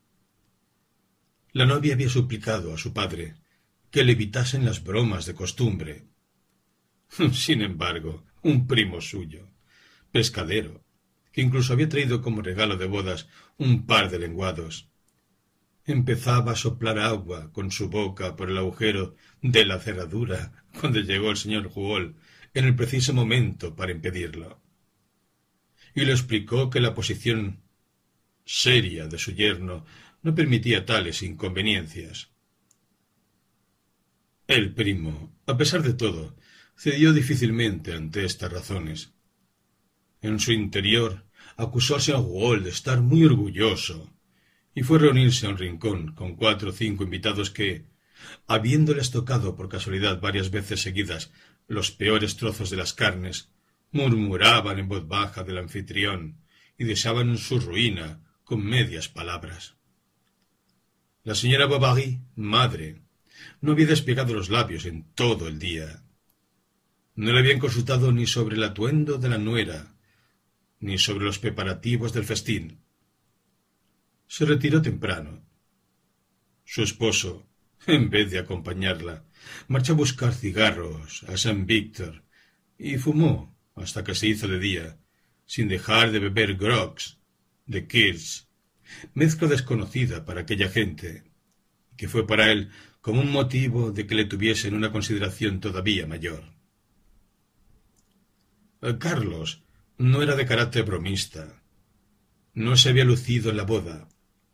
Respondió mediocremente a las bromas, retruécanos, palabras de doble sentido, parabienes y palabras picantes que tuvieron a bien soltarle desde la sopa. Al día siguiente, Por el contrario, parecía otro hombre. Era más bien él a quien se hubiera tomado por la Virgen de la víspera, mientras que la recién casada no dejaba traslucir nada que permitiese sospechar lo más mínimo. Los más maliciosos sabían qué decir, y cuando pasaba cerca de ellos la miraban con una atención desmesurada. Pero Carlos no disimulaba nada. Le llamaba mi mujer. La tuteaba. Preguntaba por ella a todos. La buscaba por todas partes. Y muchas veces se la llevaba a los patios, donde de lejos le veían, entre los árboles, estrechándole la cintura y caminando medio inclinado sobre ella, arrugándole con la cabeza el bordado del corpiño. Dos días después de la boda, los esposos se fueron. Carlos no podía sentarse por más tiempo a causa de sus enfermos. El tío Wall mandó que los llevaran en su carricoche y él mismo los acompañó hasta Basonville. Allí besó a su hija por última vez, se apeó y volvió a tomar su camino. Cuando llevaban dados cien pasos aproximadamente, se paró y viendo alejarse el carricoche, cuyas ruedas giraban en el polvo, lanzó un gran suspiro. Después se acordó de su boda, de sus tiempos de antaño, del primer embarazo de su mujer. Estaba muy contento también él, el día en que la había trasladado de la casa de sus padres a la suya. Cuando le llevaba a la grupa trotando sobre la nieve, pues era alrededor de Navidad, y el campo estaba todo blanco. Ella se agarraba a él por un brazo, mientras que del otro colgaba su cesto. El viento agitaba los largos encajes de su tocado del país de Co, que le pasaban a veces por encima de la boca. Y cuando él volvía la cabeza, veía cerca, sobre su hombro, su carita sonrosada que sonría silenciosamente bajo la chapa de oro de su gorro. Para recalentarse los dedos, se los metía de vez en cuando en el pecho. Qué viejo era todo esto. Su hijo tendría ahora treinta años. Entonces miró atrás. No vio nada en el camino. Se sintió triste como una casa sin muebles y mezclando los tiernos recuerdos a los negros pensamientos en su cerebro nublado por los vapores de la fiesta, le dieron muchas ganas de ir un momento a dar una vuelta cerca de la iglesia. Como, a pesar de todo, temió que esto le pusiese más triste todavía, se volvió directamente a casa. El señor y la señora Bovary llegaron a Tostos hacia las seis. Los vecinos asomaron a las ventanas para ver a la nueva mujer del médico. La vieja criada se presentó, la saludó, pidió disculpas por no tener preparada la cena e invitó a la señora, entre tanto, a conocer la casa. Capítulo quinto La fachada de ladrillo se alineaba justo con la calle, o más bien con la carretera. Detrás de la puerta estaban colgados un abrigo de esclavina, unas bridas de caballo, una gorra de visera de cuero negro, y en un rincón, en el suelo, un par de polainas todavía cubiertas de barro seco. A la derecha estaba la sala, es decir, la pieza que servía de comedor y de sala de estar. Un papel amarillo canario, orlado en la parte superior por una guirnalda de flores pálidas. Temblaba todo él sobre la tela poco tensa. Unas cortinas de calicó blanco, ribeteadas de una trencilla roja, se entrecruzaban a lo largo de las ventanas, y sobre la estrecha repisa de la chimenea resplandecía un reloj con la cabeza de Hipócrates entre dos candelabros chapados de plata bajo unos fanales de forma ovalada. Al otro lado del pasillo estaba el consultorio de Carlos. Pequeña habitación de unos seis pasos de ancho, con una mesa, tres sillas y un sillón de despacho. Los tomos del Diccionario de Ciencias Médicas sin abrir pero cuya encuadernación en rústica había sufrido en todas las ventas sucesivas por las que había pasado, llenaban casi ellos solos los seis estantes en la biblioteca de madera de abeto. El olor de las salsas penetraba a través de la pared durante las consultas. Lo mismo que se oía desde la cocina toser a los enfermos en el despacho y contar toda su historia. Venía después, abierta directamente al patio, donde se encontraba la caballeriza, una gran nave deteriorada que tenía un horno y que ahora servía de leñera, de bodega, de almacén, llena de chatarras, de toneles vacíos, de aperos de labranza fuera de uso, con cantidad de otras cosas llenas de polvo, cuya utilidad era imposible adivinar. La huerta, más larga que ancha, llegaba entre dos paredes de adobe cubiertas de albaricoqueros en espaldera, hasta un seto de espinos que la separaba de los campos. Había en el centro un cuadrante solar de pizarra sobre un pedestal de mampostería. Cuatro macizos de enclenques escaramujos rodeaban simétricamente el cuadro más útil de las plantaciones serias. Al fondo de todo, bajo las piceas, una figura del cura, de escayola, leía su breviario. Emma subió a las habitaciones. La primera no estaba amueblada, pero la segunda, que era la habitación de matrimonio, tenía una cama de caoba en una alcoba con colgaduras rojas. Una caja de conchas adornaba la cómoda, y sobre el escritorio, al lado de la ventana, había, en una botella, un ramo de azahar atado con cintas de raso blanco.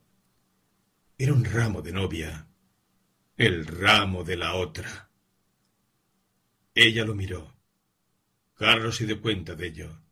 Lo cogió y fue a llevarlo al desván, mientras que, sentada en una butaca, estaban colocando sus cosas alrededor de ella.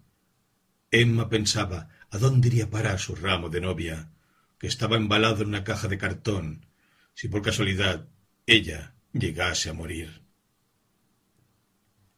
Los primeros días se dedicó a pensar en los cambios que iba a hacer en su casa.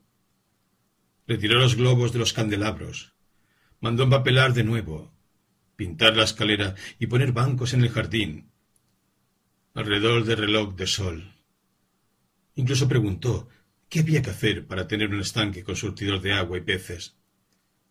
Finalmente, sabiendo su marido que a ella le gustaba pasearse en coche, encontró uno de ocasión que, una vez puestas linternas nuevas y guardabarros de cuero picado, quedó casi como un Tilbury.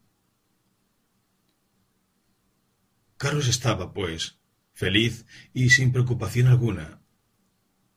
Una comida los dos solos, un paseo por la tarde por la carretera principal, acariciarle su pelo, contemplar su sombrero de paja, colgado en la falleba de una ventana, y muchas otras cosas más en las que Carlos jamás había sospechado encontrar placer alguno, constituían ahora su felicidad ininterrumpida.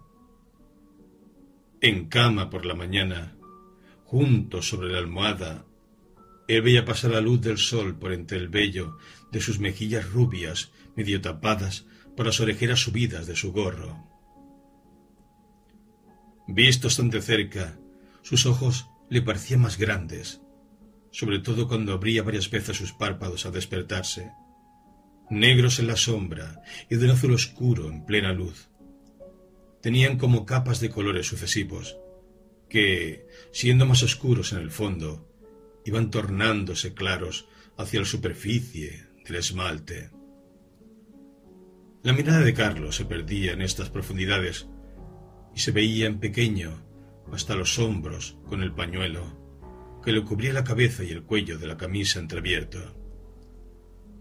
Él se levantaba, ella se asomaba a la ventana para verle salir, y se apoyaba de codos en el antepecho entre dos macetas de geranios, vestida con un salto de cama que le venía muy holgado.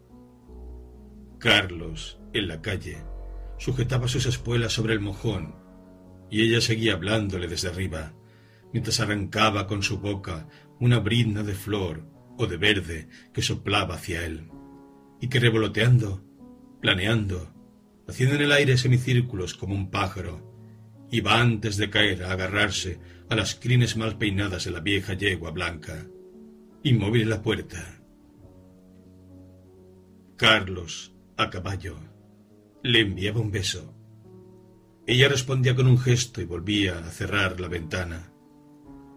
Él partía, y entonces, en la carretera que extendía, sin terminar su larga cinta de polvo, por los caminos hondos donde los árboles se curvaban en bóveda, en los senderos cuyos trigos le llegaban hasta las rodillas, con el sol sobre sus hombros y el aire matinal en las aletas de la nariz, el corazón lleno de las delicias de la noche, el ánimo tranquilo, la carne satisfecha, iba rumiando su felicidad, como los que siguen saboreando, después de la comida, el gusto de las trufas que digieren.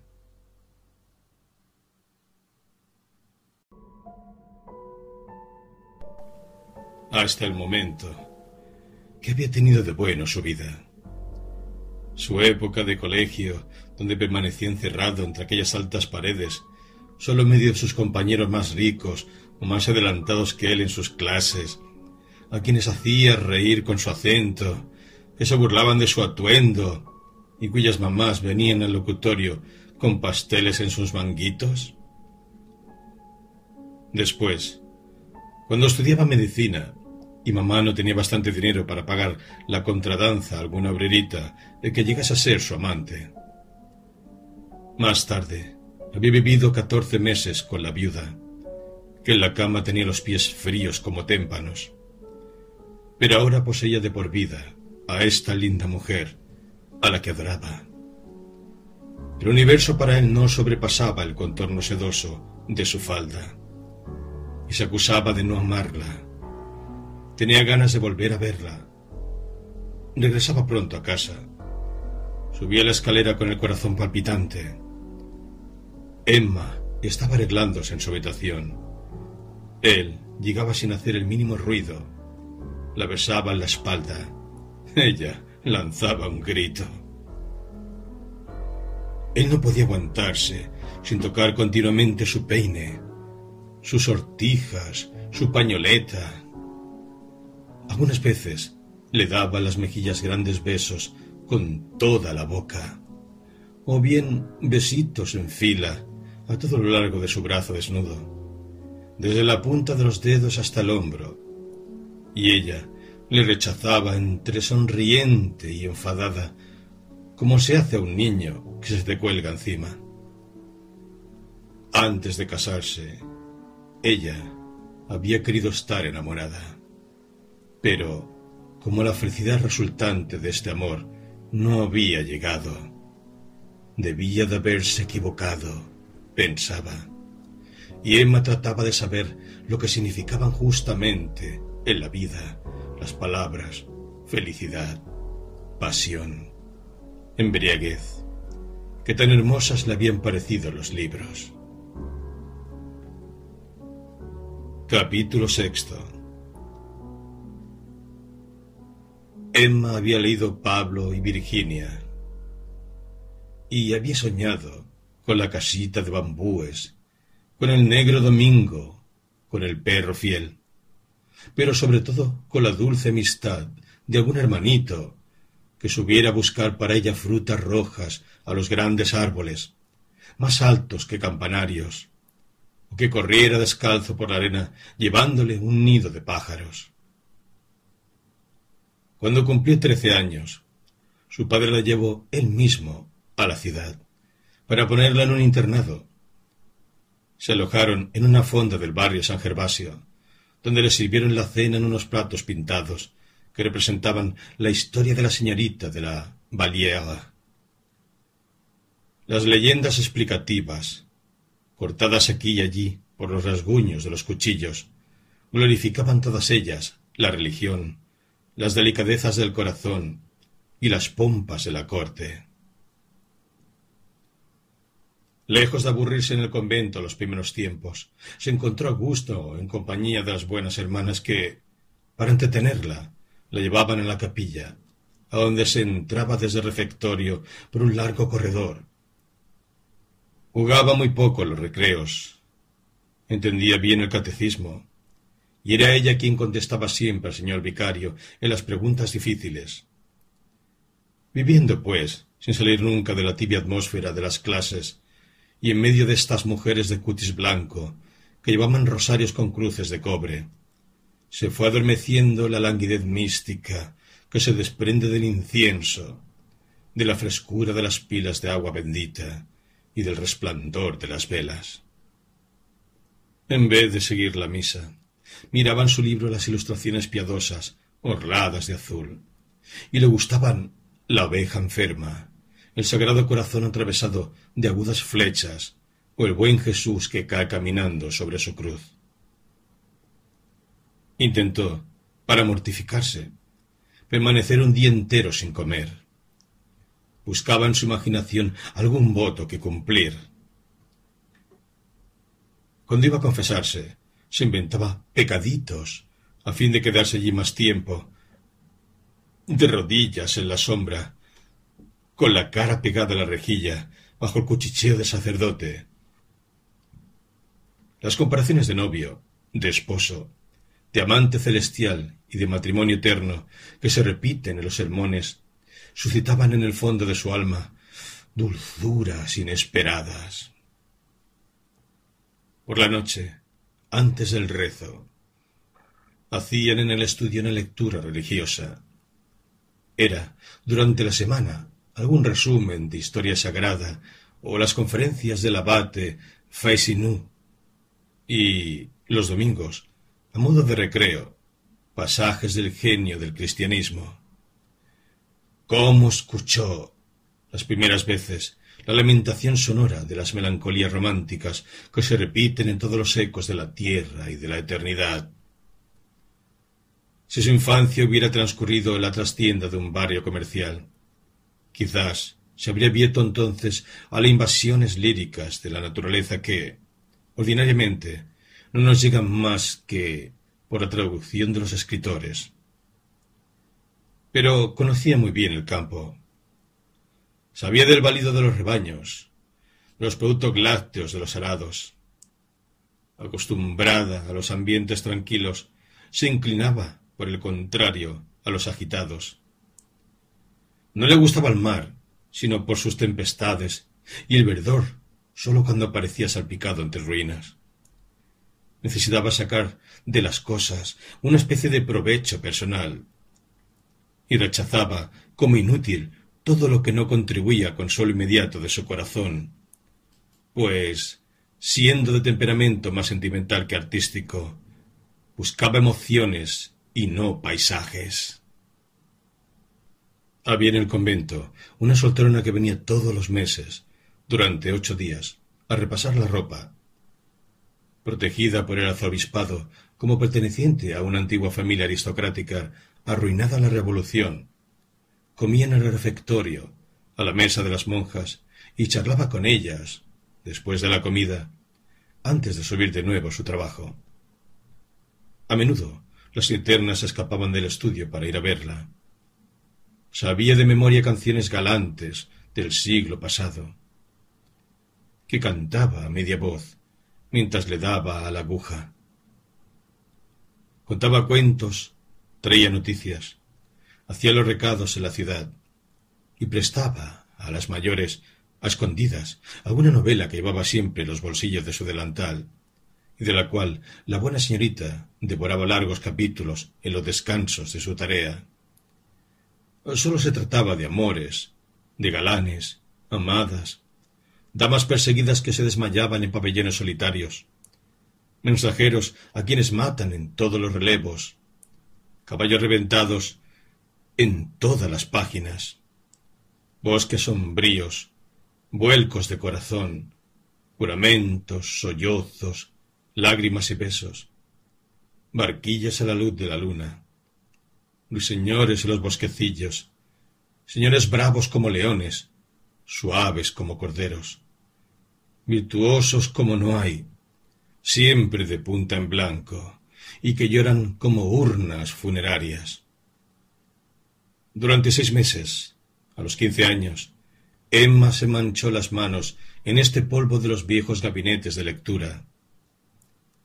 Con Walter Scott, después, se apasionó por los temas históricos.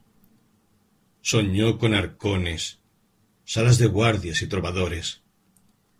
Hubiera querido vivir en alguna vieja mansión, como aquellas castellanas de largo corpiño, que bajo el trébol de las ojivas pasaban sus días con el codo apoyado en la piedra y la barbilla en la mano, viendo llegar del fondo del campo a su caballero de pluma blanca, galopando sobre un caballo negro. En aquella época rindió culto a María Estuardo y veneración entusiasta a las mujeres ilustres o desgraciadas. Juana de Arco, Eloísa, Inés Sorel, la bella Ferroniera y Clemencia Isaura, para ella se destacaban como cometas sobre la tenebrosa inmensidad de la historia, donde surgían de nuevo por todas partes, pero más difuminados y sin ninguna relación entre sí. San Luis con su encina, Vallardo moribundo, algunas ferocidades de Luis XI, un poco de San Bartolomé, el penacho del Bearnés, y siempre el recuerdo de los platos pintados donde se ensalzaba Luis XIV.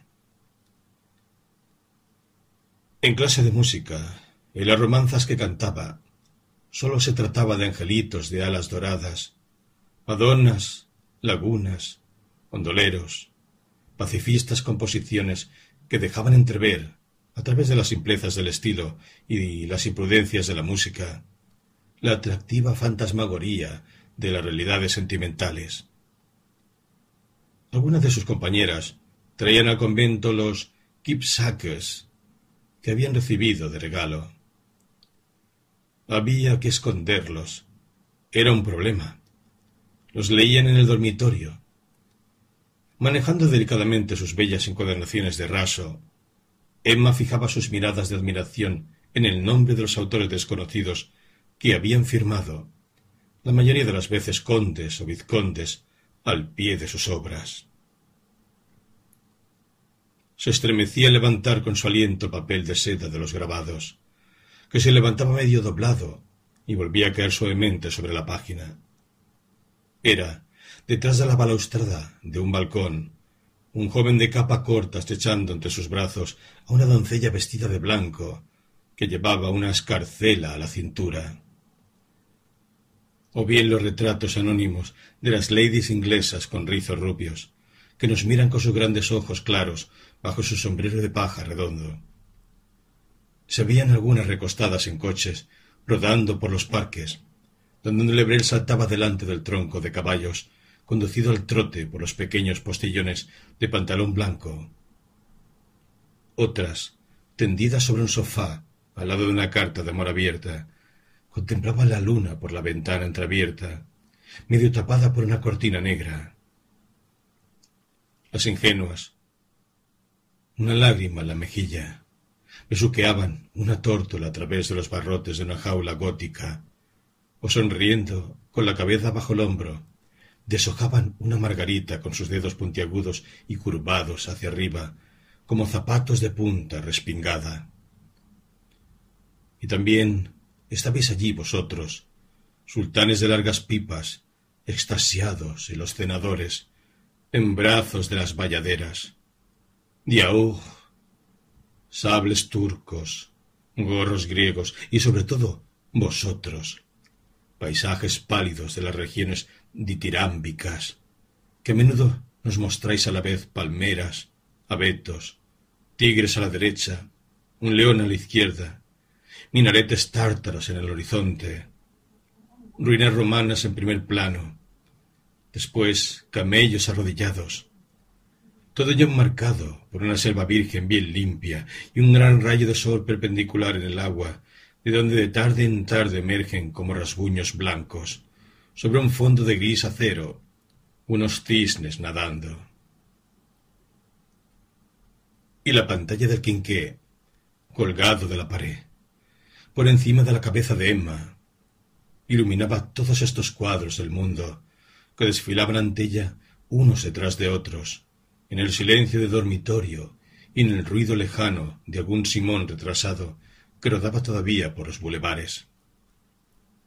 Cuando murió su madre, lloró mucho los primeros días. Mandó hacer un cuadro fúnebre con el pelo de la difunta, y en una carta que enviaba a Le Berthaud, toda llena de reflexiones tristes sobre la vida, pedía que cuando muriese la enterrasen en la misma sepultura, el pobre hombre creyó que estaba enferma y fue a verla. Emma se sintió satisfecha de haber llegado al primer intento, a ese raro ideal de las existencias pálidas, a donde jamás llegan los corazones mediocres. Se dejó, pues, llevar por los meandros lamartinianos, escuchó las arpas sobre los lagos, todos los cantos de cisnes moribundos, todas las caídas de las hojas, las vírgenes puras que suben al cielo y la voz del Padre eterno resonando los valles. Se cansó de ello y no queriendo reconocerlo, continuó por hábito, después por vanidad, y finalmente se vio sorprendida de sentirse sosegada y sin más tristeza en el corazón que arrugas en su frente.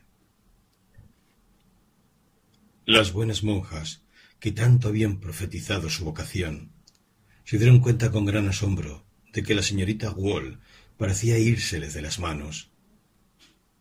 En efecto, ellas le habían prodigado tanto los oficios, los retiros, las novenas y los sermones, predicado tan bien el respeto que se debe a los santos y a los mártires, y dado tantos buenos consejos para la modestia del cuerpo y la salvación de su alma, que ella hizo como los caballos a los que tiran de la brida, se paró en seco y el bocado se le salió de los dientes. Aquella alma positiva, en medio de sus entusiasmos, que había amado la iglesia por sus flores, la música por la letra de las romanzas y la literatura por sus excitaciones pasionales, se sublevaba ante los misterios de la fe, lo mismo que se irrita más contra la disciplina, que era algo que iba en contra de su constitución. Cuando su padre la retiró del internado, no sintieron verla marchar. La superiora encontraba incluso que se había vuelto, en los últimos tiempos, poco respetuosa con la comunidad. A Emma, ya en su casa, le gustó al principio mandar a los criados. Luego se cansó del campo y echó de menos su convento. Cuando Carlos vino a Le por primera vez, ella se sentía como muy desilusionada, como quien no tiene ya nada que aprender, ni le queda nada por experimentar. Pero la ansiedad de un nuevo estado, o tal vez la irritación causada por la presencia de aquel hombre, había bastado para hacerle creer que por fin poseía aquella pasión maravillosa que hasta entonces había mantenido como un gran pájaro de plumaje rosa, planeando en el esplendor de los cielos poéticos, y no podía imaginarse ahora que aquella calma en que vivía fuera la felicidad que había soñado. Capítulo séptimo A veces pensaba que a pesar de todo, aquellos eran los más bellos días de su vida. La luna de miel, como decían. Para saborear su dulzura, habría sin duda que irse a esos países de nombres sonoros, donde los días que siguen a la boda tienen más suaves ocios. En sillas de posta, bajo cortinillas de seda azul, se sube el paso por caminos escarpados, escuchando la canción del postillón, que se repite en la montaña con las campanillas de las cabras y el sordo rumor de la cascada. Cuando se pone el sol, se respira la orilla de los golfos el perfume de los limoneros. Después, por la noche, en la terraza de las quintas, a solas y con los dedos entrecruzados, se mira las estrellas haciendo proyectos. Le parecía que algunos lugares en la tierra debían de producir felicidad, como una planta propia de un suelo y que no prospera en otra parte. ¿Quién pudiera asomarse al balcón de los chalets suizos o encerrar su tristeza en una casa de campo escocesa, con su marido vestido de frac de terciopelo negro, largos fardones y calzado con botas flexibles y con un sombrero puntiagudo y puños a las bocamangas? Quizás hubiera deseado hacer a alguien la confidencia de todas estas cosas, pero ¿cómo explicar un vago malestar que cambiaba de aspecto como las nubes, que se remolina como el viento. Le faltaban las palabras, la ocasión, el valor. Si Carlos, sin embargo, lo hubiera querido, si lo hubiera sospechado, si su amada, por una sola vez, hubiera ido al encuentro de su pensamiento, le parecía que una abundancia súbita se habría desprendido de su corazón, como cae la fruta de un árbol en espaldar cuando se acerca a él la mano. Pero a medida que se acechaba más la intimidad de su vida, se producía un despegue interior que la separaba de él. La conversación de Carlos era insulsa, como una cera de calle, y las ideas de todo el mundo desfilaban por ella en su traje ordinario, sin causar emoción, risa o ensueño. Nunca había sentido curiosidad, decía, cuando vivía en por ir al teatro a ver los actores de París.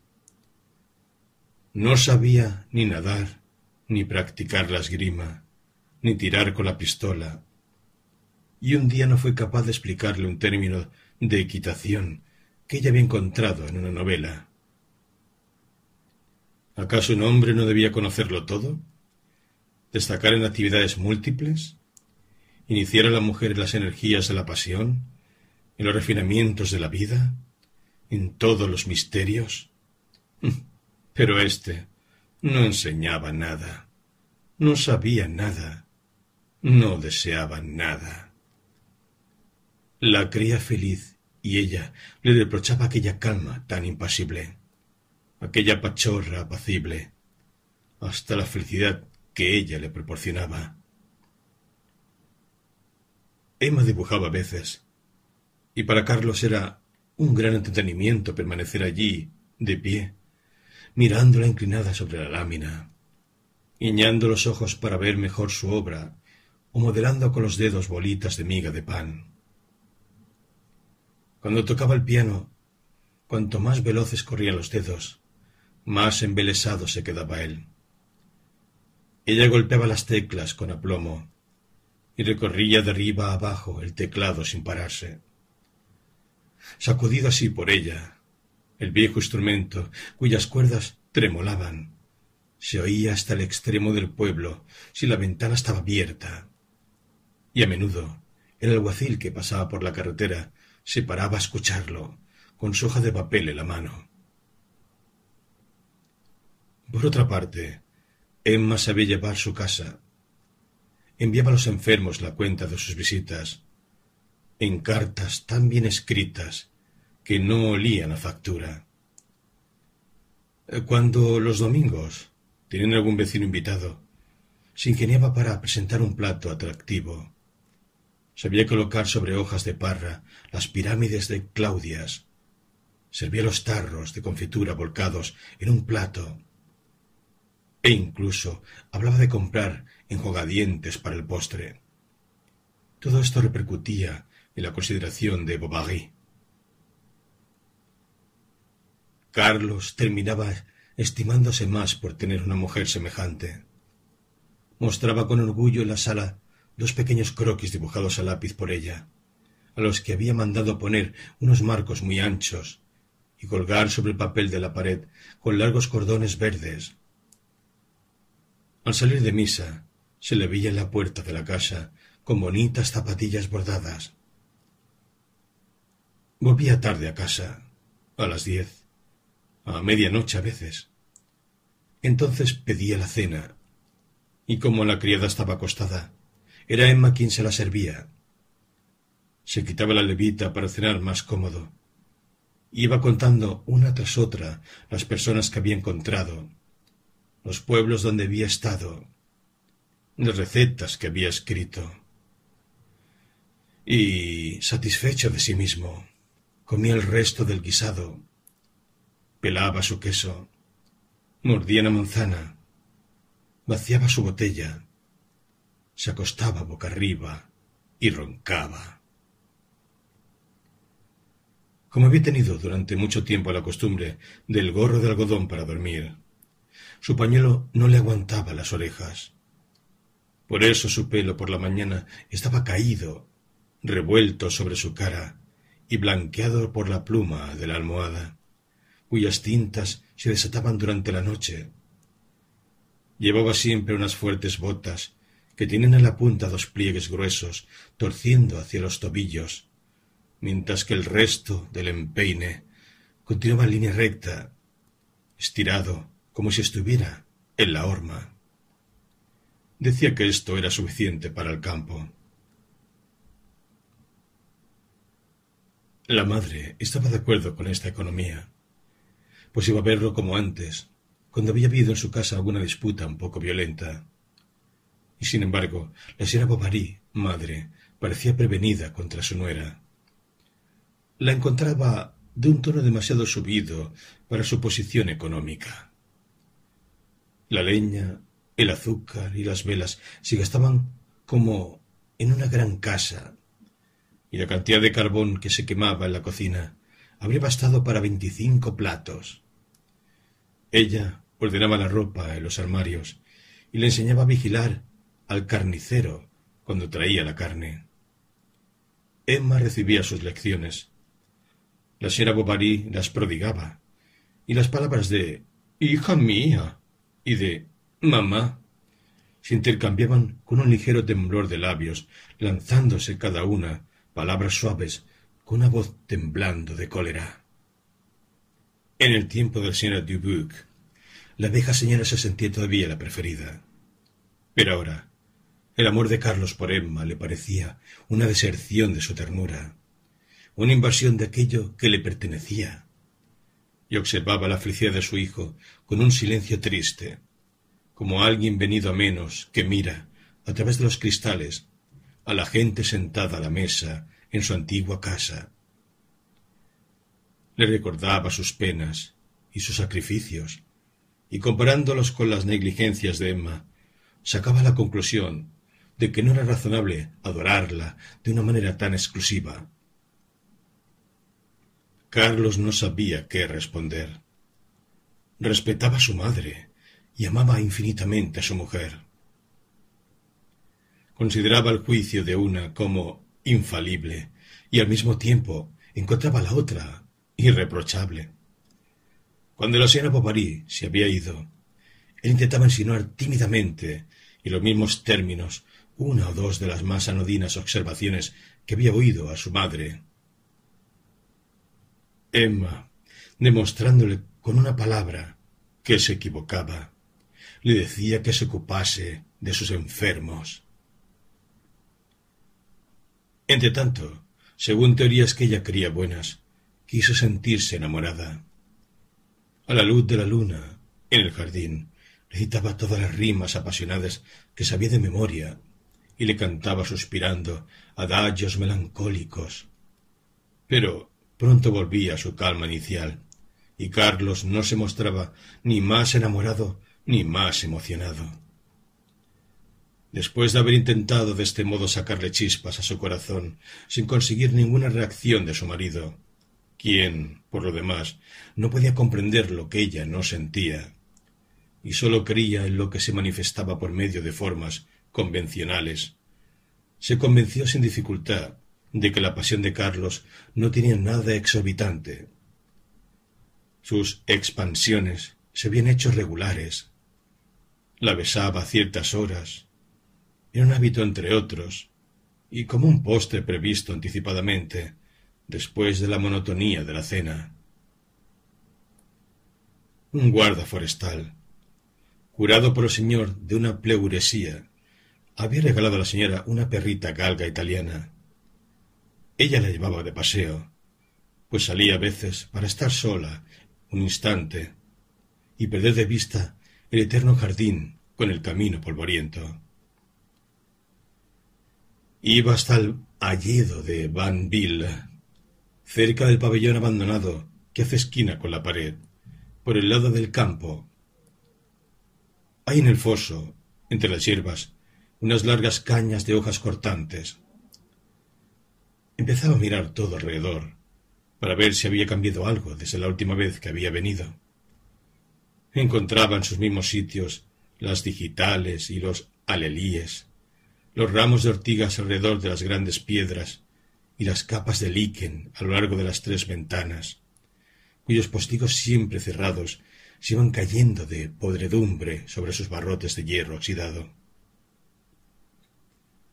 Su pensamiento, sin objetivo al principio, vagaba al azar, como su perrita, que daba vueltas por el campo, ladraba detrás de las mariposas amarillas, cazaba las musarañas o mordisqueaba las amapolas a orillas del trigal.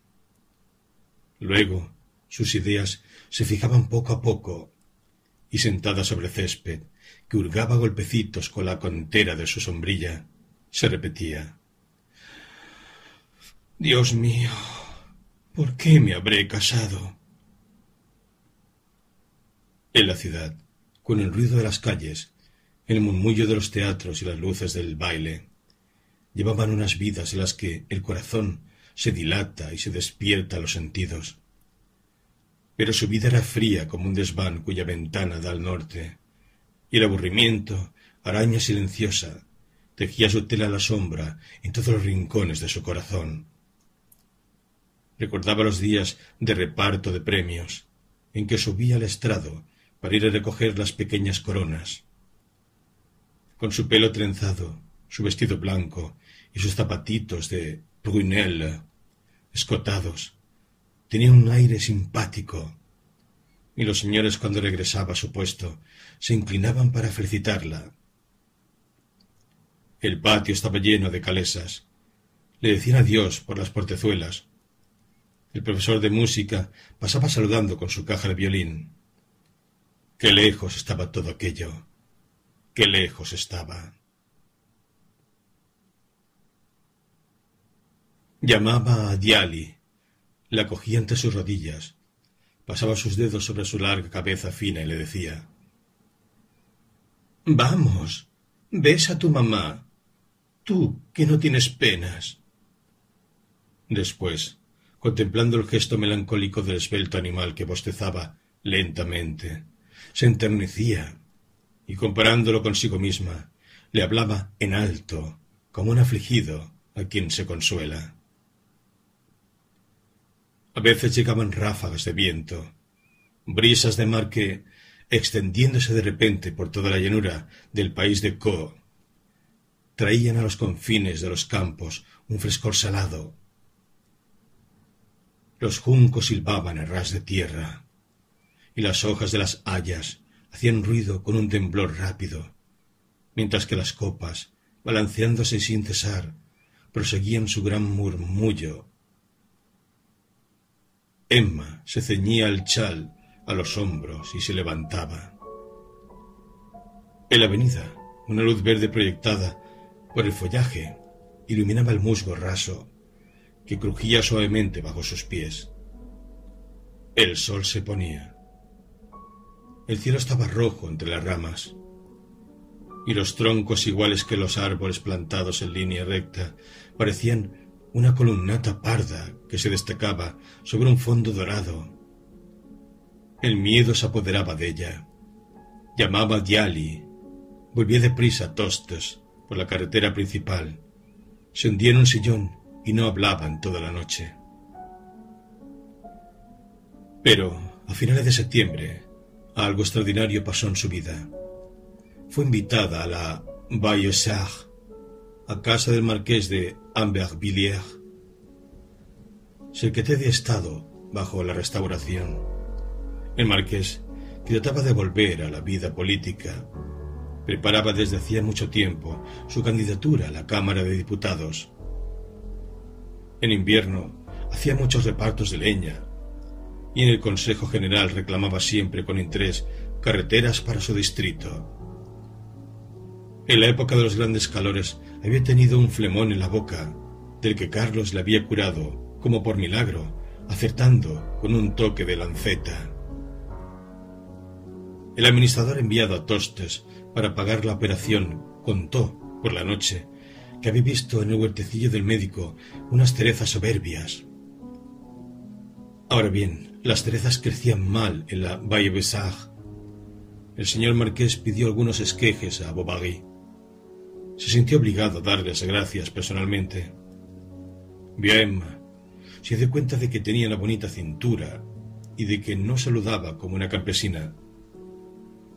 De modo que no creyeron en el castillo sobrepasar los límites de la condescendencia, ni por otra parte cometer una torpeza invitando al joven matrimonio.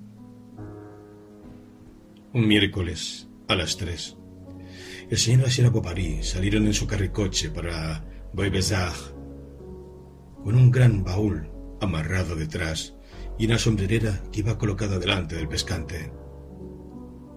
Carlos llevaba además una caja entre las piernas. Llegaron al anochecer, cuando empezaban a encender los faroles en el parque para alumbrar a los coches.